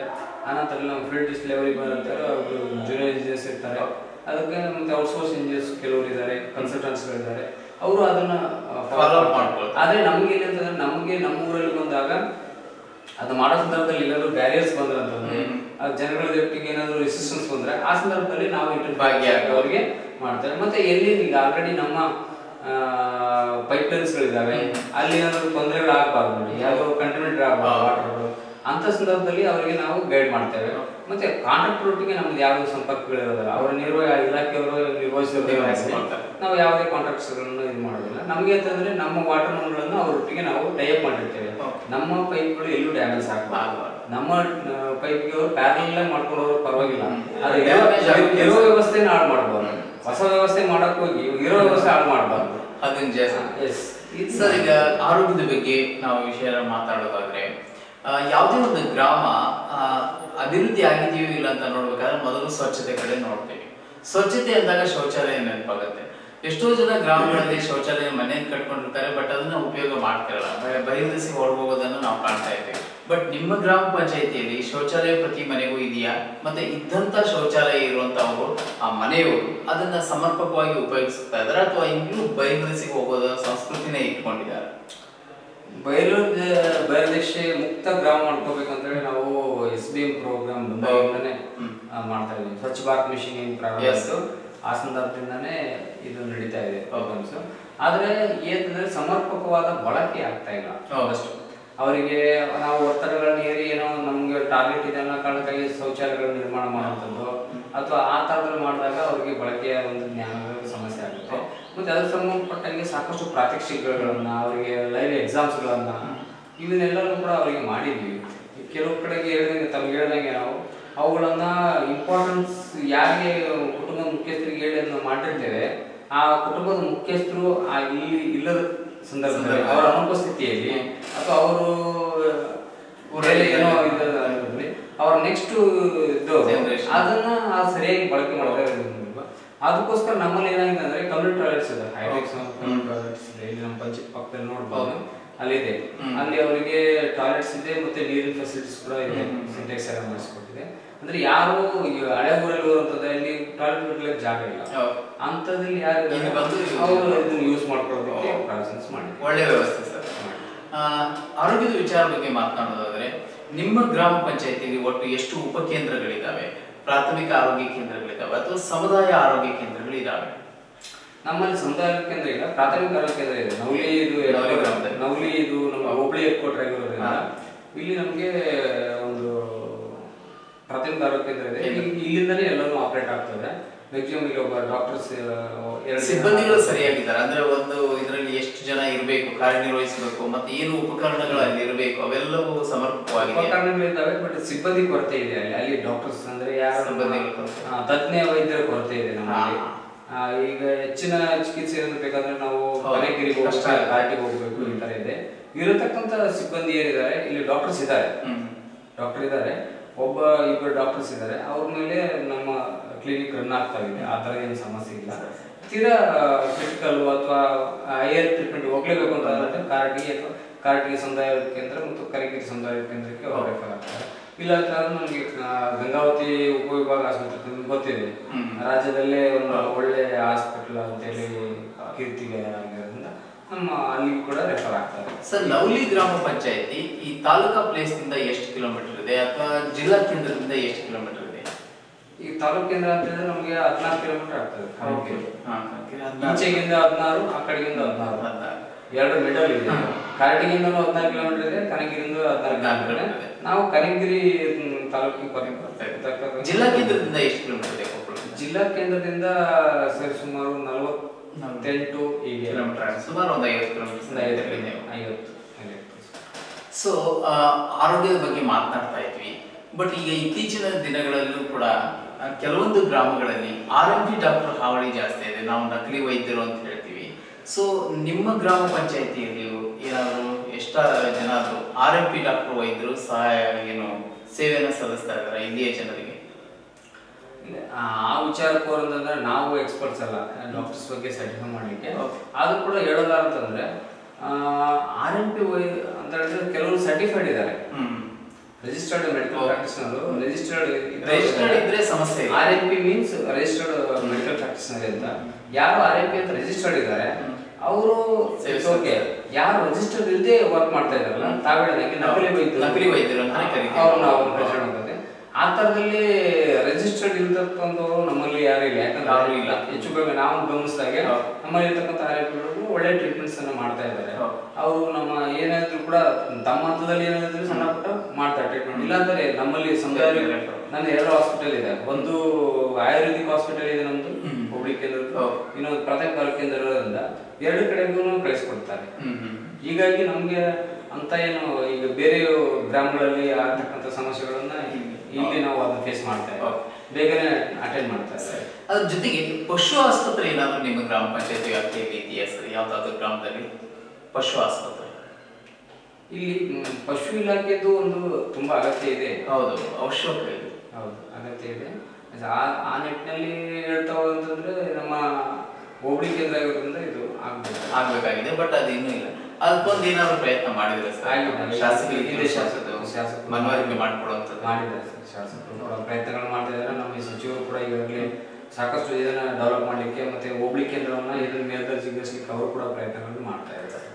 ಇನ್ನು ಆರೋಗ್ಯ ದೃಷ್ಟಿಯಲ್ಲಿ ಮಾತನಾಡೋದಾದರೆ ಇತ್ತೀಚಿನ ದಿನಗಳಲ್ಲಿ ಅಂದರೆ ಯಾವಾಗಲೂ ಕೂಡ ಮದ್ಯ ಮಾರಾಟ ನಡೀತಾ ಇದೆ ಅಕ್ರಮವಾಗಿ ಮದ್ಯ ಮಾರಾಟ. ಅಂದ್ರೆ ಹಳ್ಳಿಯಲ್ಲೂ ಕೂಡ ಒಂದು ಸಣ್ಣ ಟೀ ಅಂಗಿ ಇದೆ ಒಂದು ಪಾನ್ ಶಾಪ್, ಒಂದು ಬೀಡಿ ಅಂಗಡಿ ಇದೆ, ಒಂದು ಕಿರಾಣಿ ಅಂಗಡಿ ಅಂದ್ರೆ ಕೂಡ ಮದ್ಯವನ್ನ ಮಾರಾಟ ಮಾಡ್ತಿದ್ದಾರೆ ಕಳತನದಿಂದ ಬಟ್ ನಿಮ್ಮಲ್ಲಿ ಅದು ಯಾವ ಪರಿಸ್ಥಿತಿ ಇದೆ? ತಾಮಿಳದಾಗೆ ಇದು ಬಹುಶಃ ಗ್ರಾಮೀಣ ತೀರಾ ಕುಗ್ರಾಮಗಳಲ್ಲಿ ಸಿ ವ್ಯವಸ್ಥೆ ಇದೆ. ನಮ್ಮಲ್ಲಿ ಸಿ ಎಲ್ ಸೆವೆನ್ ಏನಿದೆ ಅಂದ್ರೆ ಅಂದ್ರೆ ಮೀನ್ಸ್ ಆ shops ಏನಿದಾವೆ shops permission M R P shops ಇರೋದ್ರಿಂದಾಗಿ ಇರೋದ್ರಿಂದಾಗಿ ನಮಗೆ ಆ ತರದ ಅವಾಗ ಕಡಿಮೆ. ಎಲ್ಲ ಅಲ್ಲಿ ಅಲ್ಲಿ ಒಂದೆರಡು ಕಡೆ ಇರ್ಬೋದು. ಅಕ್ಕರಿಯವರು ಬರ್ತಾರೆ ಅವಾಗ ವಿಸಿಟ್ ಮಾಡ್ತಾರೆ ಅದನ್ನೆಲ್ಲ ನೀವು ಒಬ್ಬ ಪಂಚಾಯತಿ ಅಭಿವೃದ್ಧಿ ಅಧಿಕಾರಿಯಾಗಿ ಆ ತರದ ಅಕ್ರಮವಾಗಿ ಮದ್ಯ ಮಾರಾಟ ಮಾಡೋದನ್ನ ಅವರಿಗೆ ನೋಟಿಸ್ ಕೊಟ್ಟಂತದ್ದು ಅವರಿಗೆ ಈ ತರ ಮಾಡಬಾರ್ದು ಅಂತ ತಿಳಿಗಳಿಗೆ ಏನಾದ್ರು ಮಾಡಿದ್ದೀರಾ? ರೀಸೆಂಟ್ ಬಂದಿರೋದ್ರಿಂದ ಆ ತರದ ಯಾವ. ನಾವಿನ್ನೂ ಗಮನಿಸಿರಲಿಲ್ಲ ಮತ್ತೆ ಸಾರ್ವಜನಿಕರು ಆ ತರ ವಿಚಾರಗಳನ್ನ ನಾವು ನಾವು ಗಮನ ಗಮನಕ್ಕೆ ಬಂದ್ರೆ ಖಂಡಿತವಾಗ್ಲೂ ಅವರು ಅವ್ರ ಮೇಲೆ ಕ್ರಮ ತಗೊಳ್ಳೋದಕ್ಕೆ ಮತ್ತೆ ಸಂಬಂಧಪಟ್ಟಂತ ಇಲಾಖೆ ಕೂಡ ಪತ್ರ ವ್ಯವಹಾರ ಮಾಡ್ತಾರೆ. ಇನ್ನು ಶಿಕ್ಷಣ ಕ್ಷೇತ್ರಕ್ಕೆ ಸಂಬಂಧಪಟ್ಟಂತೆ ನಿಮ್ಮ ಗ್ರಾಮ ಪಂಚಾಯತಿಯಲ್ಲಿ ಒಟ್ಟು ಎಷ್ಟು ಪ್ರಾಥಮಿಕ ಶಾಲೆಗಳಿದ್ದಾವೆ ಎಷ್ಟು ಪ್ರೌಢಶಾಲೆಗಳಿವೆ? ನಮ್ಮ ಪಂಚಾಯತ್ ವ್ಯಾಪ್ತಿ ಸಂಬಂಧಪಟ್ಟಂಗೆ ನಮ್ಮ ಆರು ಪಂದ್ಯ ಗ್ರಾಮಗಳು ಒಂದು ಇದ್ರ ಮಧ್ಯದಲ್ಲಿ ಒಟ್ಟು ಹತ್ತೊಂಬತ್ತು ನಮ್ಮ ಅಂಗನವಾಡಿ ಕೇಂದ್ರಗಳಿದ್ದಾವೆ ಅಂತ ಸರ್ಕಾರಿ ಹಿರಿಯ ಮತ್ತು ಕಿರಿಯ ಪ್ರಾಥಮಿಕ ಶಾಲೆಗಳು ಟೋಟಲ್ ಎಂಟು ಇದ್ದಾವೆ ಒಂದು ಸರ್ಕಾರಿ ಪ್ರೌಢಶಾಲೆ ಇದೆ ಒಂದು ಪದವಿ ಪೂರ್ವ ಕಾಲೇಜ್ ಇದೆ ಮತ್ತೆ ಇಲ್ಲಿ ಒಂದು ಹಾಸ್ಟೆಲ್ ಕೂಡ ಇದೆ. ಯಾವ ಪರಿಶಿಷ್ಟ- ಜಾತಿ. ಅದು ಇದೆ.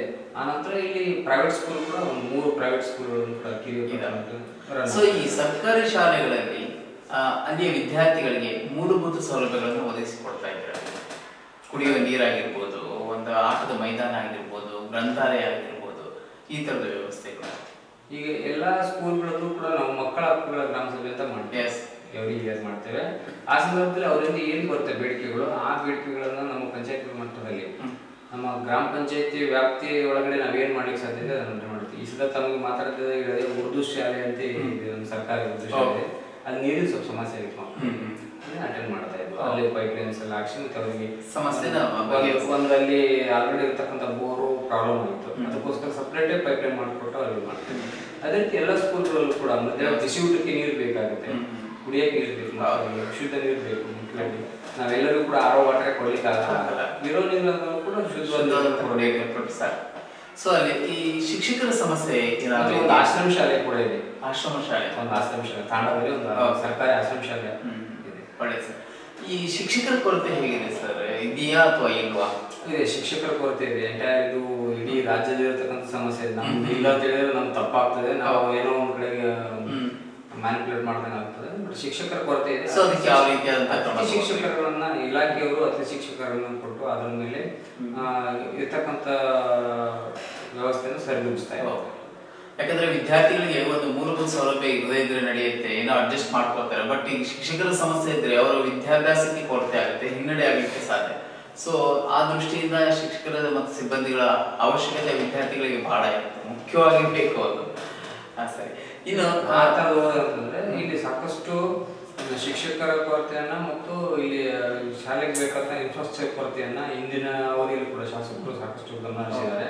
ನಮ್ಮ ಜೂನಿಯರ್ ಕಾಲೇಜಿಗೆ ನೋಡಿರ್ಬೋದು ಬರ್ತಾ ನೋಡಿರ್ತಾರೆ. ಆ ಜೂನಿಯರ್ ಕಾಲೇಜಿಗೆ ಒಂದು ಟೋಟಲ್ ಹದಿನಾರು ರೂಮ್ಗಳನ್ನ ಮಾಡಿಕೊಟ್ಟಿದ್ದಾರೆ ಇಲ್ಲಿ. ಅನಂತರ ಹೈಸ್ಕೂಲಿಗೆ ಆಮೇಲೆ ಪ್ರೈಮರಿ ಸ್ಕೂಲ್ ಎಲ್ಲಾ ಪ್ರೈಮರಿ ಸ್ಕೂಲ್ಗೂ ಎರಡರಿಂದ ನಾಲ್ಕು ರೂಮ್ಸ್ಗಳನ್ನು ಮಾಡಿಕೊಟ್ಟಿದ್ದಾರೆ. ಅಂದ್ರೆ ಬೇರೆ ಬೇರೆ ಬೇರೆ ಸಬ್ಜೆಕ್ಟ್ ಅಲ್ಲಿ ಅವರು ಶಿಕ್ಷಣಕ್ಕೆ ಒತ್ತು ಕೊಡಬೇಕು ಇದು ಹೋಗ್ಲಿಕ್ಕೆ ಹಂಗಿರೋದು. ಕೊಡ್ಬೇಕು ಅಂತೇಳಿ ಅವ್ರು ಮಾಡಿದ್ದಾರೆ ಮತ್ತೆ ಸ್ಕೂಲ್ಗೆ ಡೆಸ್ಕ್ಗಳು ಕೊಡೋದಿರ್ಬೋದು ಆಮೇಲೆ ಸ್ಮಾರ್ಟ್ ಕ್ಲಾಸ್. ಸ್ಮಾರ್ಟ್ ಕ್ಲಾಸ್ಗಳನ್ನು ಮಾಡಿಸಿದ್ದಾರೆ. ಎಲ್ಲ ಆಗಿದೆ. ಸರ್ ಈ ಒಂದು ಗ್ರಾಮ ಪಂಚಾಯತಿಗೆ ಹದಿನೈದನೇ ಹಣಕಾಸಿನ ಯೋಜನೆಯಲ್ಲಿ ಒಟ್ಟು ಎಷ್ಟು ಅನುದಾನ ಬಂದಿದೆ ಸರ್ ಈ ಪ್ರಸಕ್ತ ವರ್ಷದಲ್ಲಿ? ಪ್ರಸಕ್ತ ಎರಡ್ ಸಾವಿರದ ಇಪ್ಪತ್ತೆರಡು ಇಪ್ಪತ್ನಾಲ್ಕನೇ ಸಾಲಿನ ಇಪ್ಪತ್ತೆರಡು ಇಪ್ಪತ್ತು ಸರ್ ಬನ್ನಿ. Last time previous year previous ಇಯರ್ಗೆ ಆಗಿದೆ ಈಗ ಅದರದ್ದು ನಮ್ಮ ಇದನ್ನು ತಗೊಂಡಿರ್ತದ ಒಂದು ಐವತ್ತು ಲಕ್ಷ ಎವ್ರಿ ಇಯರ್ ಬರ್ತದೆ. ಈ. ವರ್ಷ ಇಪ್ಪತ್ಮೂರು ಇಪ್ಪತ್ನಾಲ್ಕಕ್ಕೆ ಐವತ್ತೆಂಟು ಲಕ್ಷ ಅಲೋಕೇಶನ್ ಆಗಿದೆ. ಪ್ರೆಸೆಂಟ್ ಬಂದಿರೋದು ಐವತ್ತೈದು ಐವತ್ತೆಂಟು ಲಕ್ಷ. ಈ ವರ್ಷ ಅಲೋಕೇಶನ್ ಆಗಿರೋದು. ಓಕೆ. ಇನ್ನು ರಿಲೀಸ್ ಇಲ್ಲ. ಅಲೋಕೇಶನ್ ರಿಲೀಸ್ ಬಂದಿದೆ. ಐವತ್ತೆಂಟು. ಐವತ್ತೆಂಟು ಲಕ್ಷ. ಸೊ ಹೀಗೆ ಈ ಗ್ರಾಮ ಪಂಚಾಯತಿಗೆ ಬಂದಂತ ಈ ಐವತ್ತೆಂಟು ಲಕ್ಷ ರೂಪಾಯಿನ ಯಾವ ರೀತಿಯಾಗಿ ನೀವು ಅದನ್ನ ಡಿಸ್ಟ್ರಿಬ್ಯೂಟ್ ಮಾಡ್ತೀರಿ? ಸರ್ ಈಗ ರಸ್ತೆಗೆ ಎಷ್ಟು ಹಾಕ್ತೀರಿ ಇದಕ್ಕೆ ಎಷ್ಟು ಹಾಕ್ತೀರಿ ಚರಂಡಿಗೆ ಎಷ್ಟು ಹಾಕ್ತೀರಿ ಕುಡಿಯೋ ನೀರಿಗೆ ಎಷ್ಟು ಖರ್ಚು ಮಾಡ್ತೀರಿ? ಮತ್ತೆ ಆ, ಅಂಗವಿಕಲರಿಗೆ ಎಷ್ಟು ಕೊಡ್ತೀರಿ? ಪ್ರಮಾಣ ಎಷ್ಟೆಷ್ಟು ಪ್ರಮಾಣದಲ್ಲಿ ಡಿವೈಡ್ ಮಾಡ್ತೀರಿ? ಖಂಡಿತವಾಗ್ಲೂ ತಾವು ಹೇಳಿದ್ದು ಚೆನ್ನಾಗಿದೆ. ಇಲ್ಲಿ ನಮಗೆ ಮಾರ್ಗಸೂಚಿಗಳು ಇದೆ ಸರ್ಕಾರದ ನಿರ್ದೇಶನ ಕೂಡ ಇದೆ. ಅದರಲ್ಲಿ ಪ್ರತಿಶತ ಐದರಷ್ಟನ್ನು ನಾವು ವಿಕಲಚೇತನರ ಕಲ್ಯಾಣಕ್ಕಾಗಿ ಬಳಸಬೇಕು ಅಂತಿದೆ ಆನಂತರದಲ್ಲಿ ನಾವು ನಲವತ್ತು ಪರ್ಸೆಂಟ್ಗಿಂತ ಕಡಿಮೆ ಇಲ್ಲದಂತೆ ನಾವು ಕುಡಿಯೋ ಕುಡಿಯುವ ನೀರು ನೀರಿಗೋಸ್ಕರ. ಅದರ ಮೇಂಟೆನೆನ್ಸ್ಗೋಸ್ಕರ ಮಾಡ್ತೇವೆ. ಇನ್ನು ಉಳಿದಂಗೆ ನಮಗೆ ಒಂದು ಐವತ್ತೈದು ಪರ್ಸೆಂಟ್ ಉಳಿದೆ. ಅದರಲ್ಲಿ ನಮ್ಮ ರೋಡ್ಗಳು ಕನೆಕ್ಟಿವಿಟಿ ವಿಲೇಜ್ ಕನೆಕ್ಟಿವಿಟಿ ರೋಡ್ಗಳನ್ನು ತಗೋತೇವೆ ನಾವು. ಒಂದು ಹಳ್ಳಿಯಿಂದ ಇನ್ನೊಂದು ಹಳ್ಳಿಗೆ ಸಂಪರ್ಕ. ಆ, ಅದು ತಗೋತೇವೆ. ಅವು ವಿಲೇಜಲ್ಲಿ ಕನೆಕ್ಟಿವಿಟಿ ರೋಡ್ಸ್ಗಳು ಆ ಥರ ತಗೋತೇವೆ. ಆಮೇಲೆ ಸೋಲಾರೈಸರ್ ಮಾಡ್ಕೊಳ್ಳೋಕೆ ನಮ್- ನಮಗೆ ಒಂದಷ್ಟು ಈ ರಸ್ತೆ ಅಭಿವೃದ್ಧಿಗೋಸ್ಕರ ಎಷ್ಟು ರಸ್ತೆ ನಿರ್ಮಾಣಕ್ಕೋಸ್ಕರ ಎಷ್ಟು ಪರ್ಸೆಂಟೇಜ್ ಇರ್ತಾ ಇದೆ ಈ ಸದ್ಯಕ್ಕೆ ಗೈಡ್ಲೈನ್ಸ್ ಅಲ್ಲಿ ಏನೇ ವೇರಿಯೇಷನ್ಸ್ ಈಗ ಈ ಹೊಸ ಗೈಡ್ಲೈನ್ಸ್ ಪ್ರಕಾರ ವ್ಯತ್ಯಾಸ ಆಗ್ಬೋದು ಅಂತ. ನಮಗೆ ಹತ್ತರಿಂದ ಹದಿನೈದು ಪರ್ಸೆಂಟ್ 15% ಆಲ್ಮೋಸ್ಟ್ ಕೊಡೋದು ಹತ್ತರಿಂದ ಹದಿನೈದು ಪರ್ಸೆಂಟ್ ಚರಂಡಿ ಇದಕ್ಕೆ ನಿರ್ಮಾಣಕ್ಕೆ ಎಷ್ಟಿದೆ? ಅಥವಾ ಪರ್ಟಿಕ್ಯುಲರ್ಸ್ ಆಗಿ ನಾವು ಇಷ್ಟನ್ನೇ ಇದು ಮಾಡ್ಕೊಳ್ಳೋದಕ್ಕೆ ಆಗೋದಿಲ್ಲ. ಯಾಕಂದ್ರೆ ಡೆವಲಪ್ಮೆಂಟ್ಸ್ ಬೇಕಾದಂತ ವ್ಯತ್ಯಾಸ ಮಾಡ್ಕೋಬಹುದು.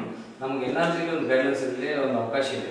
ಟೆನ್ ಪರ್ಸೆಂಟ್ ಅನ್ನ ರೋಡ್ ಕನೆಕ್ಟಿವಿಟಿ ಸೇಮ್ ಅದೇ ರೀತಿ ಅದನ್ನ ಮಾಡ್ಬೋದು. ಆಮೇಲೆ ಪರಿಸರಕ್ಕೋಸ್ಕರನು ಹ್ಮ್. ಆಮೇಲೆ ಒಂದು ಫೈವ್ ಪರ್ಸೆಂಟ್ ನಾವು ಫ್ಲೆಕ್ಸಿ ಅಂತ ಇಟ್ಕೊತೇವೆ ಅಂದ್ರೆ ನಮಗೆ ತತ್ಕಾಲದಲ್ಲಿ ಏನಾದ್ರು ಏನಾದ್ರು. ಸಮಸ್ಯೆಗಳಾದಾಗ ಅಥವಾ ಏನಾದ್ರು ತುಂಬಾ ಎಮರ್ಜೆನ್ಸಿ ಇದ್ದಾಗ ಅದನ್ನು ಬಳಸ್ಕೊಳ್ಳೋಕೆ ಸಾಕಷ್ಟು ಅವಕಾಶ ಇದೆ ಒಂದು ಫೈವ್ ರಿಸರ್ವ್ ಇಟ್ಟಂಗೆ ರಿಸರ್ವ್ ತರ ಅದು ಫ್ಲೆಕ್ಸಿ ಇದೆ.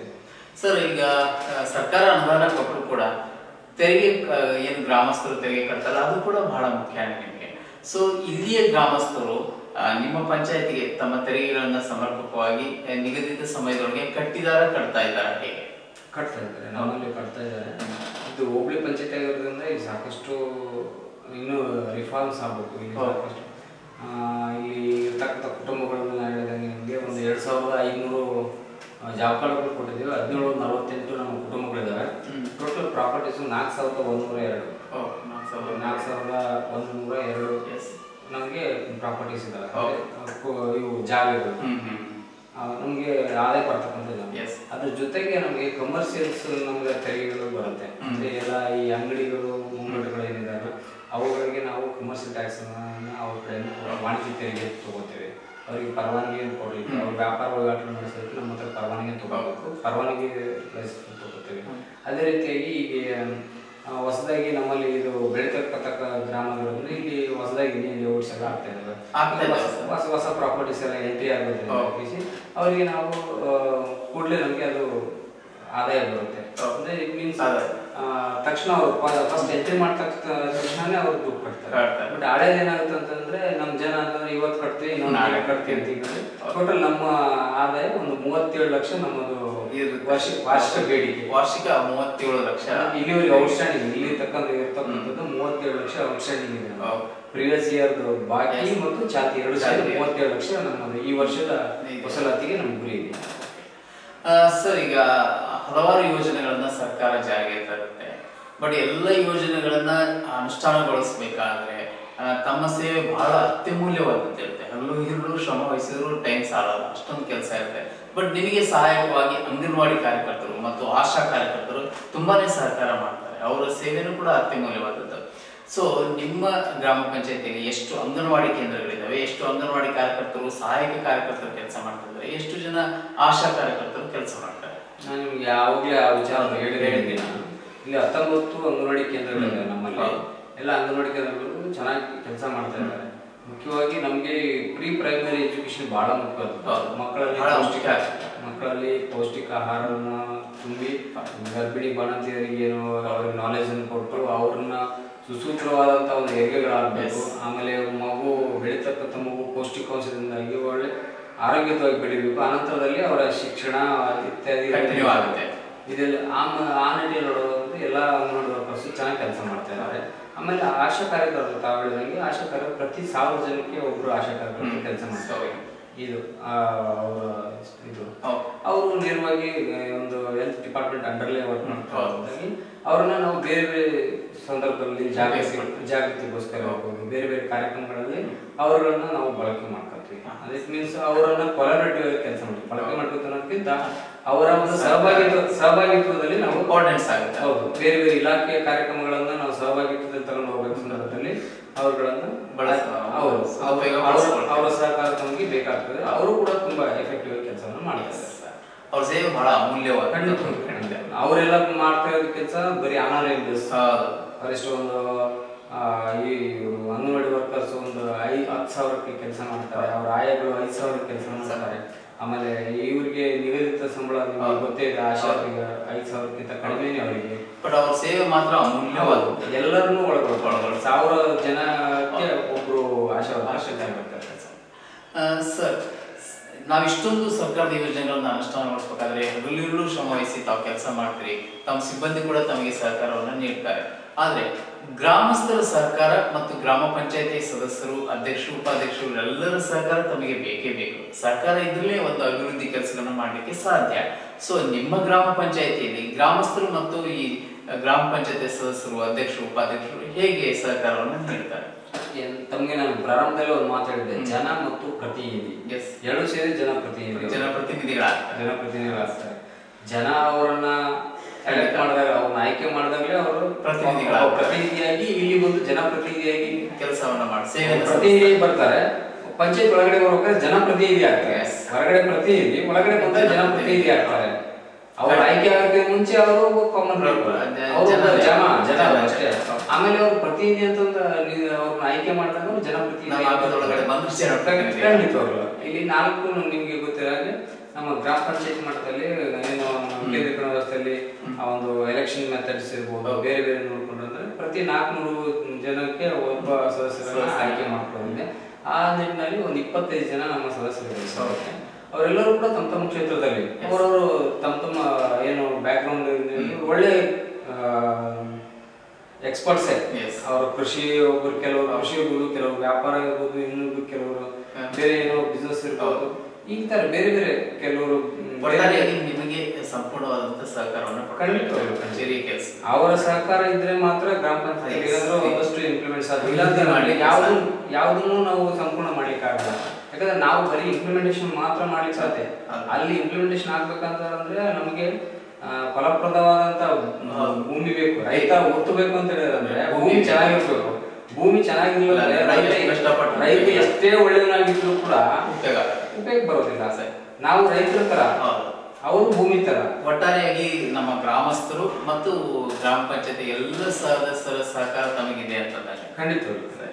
ಈ ಸಂದರ್ಭದಲ್ಲಿ ಸಂದರ್ಶನ ಸಂದರ್ಭದಲ್ಲಿ ತಮ್ಮ ಗ್ರಾಮಸ್ಥರಿಗೆ ಆಗಿರ್ಬೋದು ಅಥವಾ ಗ್ರಾಮ ಪಂಚಾಯತಿ ಸದಸ್ಯರಿಗೆ ಏನ್ ಹೇಳಕ್ ಇಷ್ಟಪಡ್ತೀವಿ ಸರ್ ನಮ್ಮ ಗ್ರಾಮಸ್ಥರಿಗೆ ಮತ್ತು ಗ್ರಾಮದ ಇಲ್ಲಿ ಚುನಾಯಿತರಿರ್ಬೋದು ಅಥವಾ ನಮ್ಮ ಎಲ್ಲ ಮುಖಂಡರಿರ್ಬೋದು ನಮ್ಮ ಈ ವಿವಿಧ ಸಮುದಾಯದ Yes. ಅವರೆಲ್ಲರಿಗೂ ಕೂಡ ನಾನು ರಿಕ್ವೆಸ್ಟ್ ಮಾಡೋದು ಮತ್ತು ಅವ್ರ ಮೂಲಕ ಹಂಚ್ಕೊಳ್ಳೋದೆ ಅಂತಂದರೆ ಅಂತಂದ್ರೆ ಪ್ರತಿಯೊಂದು ಏನು ಸ್ಕೀಮ್ಸ್ ಇದ್ದಾವೆ ಯೋಜನೆಗಳಿದ್ದಾವೆ ಗ್ರಾಮ ಪಂಚಾಯತ್ ಮಟ್ಟದಲ್ಲಿ ಬರ್ತಕ್ಕಂಥ ಬೇರೆ ಬೇರೆ ಸ್ಕೀಮ್ಸ್ ಅದು ಉದ್ಯೋಗ ಯೋಜನೆ ಇರ್ಬೋದು N R L M Sanjeevini ಇರ್ಬೋದು, ನಂತರ ಈ ಸ್ವತ್ತು ಇರ್ಬೋದು, ಗ್ರಾಮ ಸ್ವರಾಜ್ ಪ್ರೋಗ್ರಾಮ್ ಇರ್ಬೋದು, ಅಥವಾ ಪಂಚತಂತ್ರದಲ್ಲಿ ಇರತಕ್ಕಂಥ ಕೆಲಸ ಇರ್ಬೋದು, ಆದರ್ಶ ಗ್ರಾಮ ಇರ್ಬೋದು, ಗ್ರಾಮ ವಿಕಾಸ ಇರ್ಬೋದು, ಮತ್ತು ಜಲ್ ಜೀವನ್ ಮಿಷಿನ್ನು, ಮತ್ತು ಬಾಪೂಜಿ ಸೇವಾ ಕೇಂದ್ರದಲ್ಲಿ ಇರ್ತಕ್ಕಂಥ ಬೇರೆ ಬೇರೆ ಒಂದು ಒಂದಷ್ಟು ಸೇವೆಗಳನ್ನು ಕೊಡಲಿಕ್ಕೆ ಅವಕಾಶಗಳಿದೆ ಅದು ಇರ್ಬೋದು. ಮತ್ತು ಹೌಸಿಂಗ್ ಎಸ್ಪೆಷಲಿ ಅಂಬೇಡ್ಕರ್ ವಸತಿ ಯೋಜನೆ ಮತ್ತು ಬಸವ ವಸತಿ ಯೋಜನೆ ಆಗಿರ್ಬೋದು. ಮತ್ತು ಇನ್ನು ಉಳಿದಂಗೆ ಈ ಬೇರೆ ಬೇರೆ ಇಲಾಖೆಯ ಕನ್ವರ್ಜೆನ್ಸಿಯಲ್ಲಿ ಬರ್ತಕ್ಕಂಥ ಕಾರ್ಯಕ್ರಮಗಳನ್ನು ನಾವು ಗ್ರಾಮ ಮಟ್ಟದಲ್ಲಿ ಇಂಪ್ಲಿಮೆಂಟ್ ಮಾಡೋ ಸಂದರ್ಭದಲ್ಲಿ ಎಲ್ಲರೊಟ್ಟಿಗೆ ಎಲ್ಲರೂ ಸಹಕಾರದಿಂದ ಇರಬೇಕು. ಮತ್ತು ಬಂದಿರೋ ಕಾರ್ಯಕ್ರಮವನ್ನು ನಾವು ಪಾಸಿಟಿವ್ಲಿ ತಗೊಳ್ಬೇಕು. ಅದು ಪಾಸಿಟಿವ್ ನಮ್ಮ ಊರಿಗೆ ಬಂದಿದೆ ಅಂತಂದರೆ ಅದನ್ನು ನಾವು ಬಳಸ್ಕೋಬೇಕು ಅನ್ನೋದು ಅದ್ರ ಬಗ್ಗೆ ನಾವು ನೆಗೆಟಿವ್ ಥಾಟ್ಸ್ ಆಗಲಿ ಅಥವಾ ಇದನ್ನೇ ಯಾಕೆ ಹಿಂಗೆ ಯಾಕೆ ಅಂತೇಳಿ ಅವರನ್ನ ಏನು ಕೆಲಸ ಮಾಡಿ ಬಂದಂತವ್ರನ್ನ ನಾವು ಒಂಥರ ಎದುರಿಸೋ ಮನೋಭಾವ ಇರಬಾರದು ಸರ್ಕಾರ ತಗೊಳ್ಬೇಕು. ಅವ್ರು ಬಂದಿದ್ದಾರೆ ಅಂತಂದ್ರೆ ನಮ್ಮ ಊರಿಗೋಸ್ಕರ ನಮ್ಮ ಅಭಿವೃದ್ಧಿಗೋಸ್ಕರ ಬಂದ್ರೆ ನಮ್ಮ ಊರು ಚೆನ್ನಾಗಾಗುತ್ತೆ. ಅವ್ರು ಬಂದಿರೋದ್ರಿಂದ ಅದು ಏನೋ ಒಂದು ಯಾವ ಸ್ಕೀಮ್ ಅಲ್ಲಿ ನಮ್ಮ ಊರು ಸೆಲೆಕ್ಟ್ ಮಾಡ್ಕೊಂಡ್ರೆ ಅದು ನಮ್ಮ ಭಾಗ್ಯ. ಹತ್ತಾರು ಊರುಗಳಿಗೆ ಹೋಗ್ಬೋದಿತ್ತು ಆ ನಮ್ಮ ಊರಿಗೆ ಬಂದಿದೆ ಅಂದ್ರೆ ನಮ್ದೇನೋ ಸ್ಪೆಷಲ್ ಹೌದು, ಸೌಭಾಗ್ಯ. ನಮ್ಮಲ್ಲಿ ಏನು ನಮ್ಮಲ್ಲಿ ಏನು ವಿಶೇಷ ಇದೆ ಅದಕ್ಕೋಸ್ಕರ ನಮ್ಮೂರಿಗೆ ಬಂದಿದ್ದಾರೆ.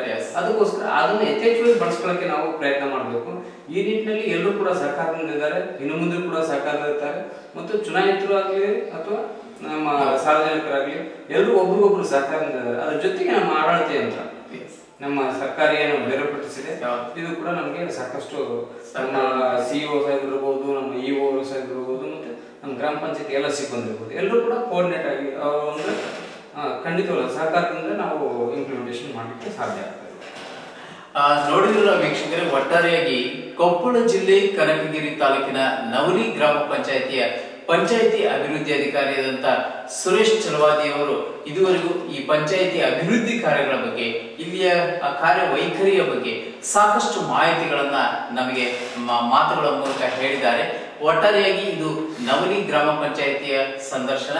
ಮತ್ತೊಂದು ಸಂದರ್ಶನದಲ್ಲಿ ಮತ್ತೊಂದು ಗ್ರಾಮ ಪಂಚಾಯಿತಿ ಅಭಿವೃದ್ಧಿ ಅಧಿಕಾರಿಯೊಂದಿಗೆ ನಿಮ್ಮ ಮುಂದೆ ಸಂದರ್ಶನದಲ್ಲಿ ಬರ್ತೀನಿ.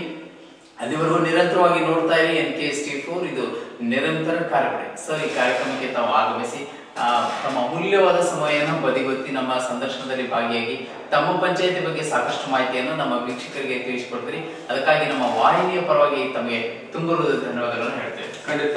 ನಮ್ಮೂರನ್ನ ಆಯ್ಕೆ ಮಾಡ್ಕೊಂಡು ನಮ್ಮೊಂದಿಗೆ ಸಹಕಾರದಿಂದ ಚರ್ಚೆ ಮಾಡಿ ನಮ್ಮೂರಿಗೆ ಬೇಕಾಗ್ತಕ್ಕಂಥ ವಿಷಯಗಳನ್ನ ಮತ್ತೆ ನಮಗೆ ಮನನ ಮಾಡಿಕೊಟ್ಟಿದ್ದಾಗಿ ತಮಗೂ ಕೂಡ ಧನ್ಯವಾದ ಥ್ಯಾಂಕ್ ಯು ಸರ್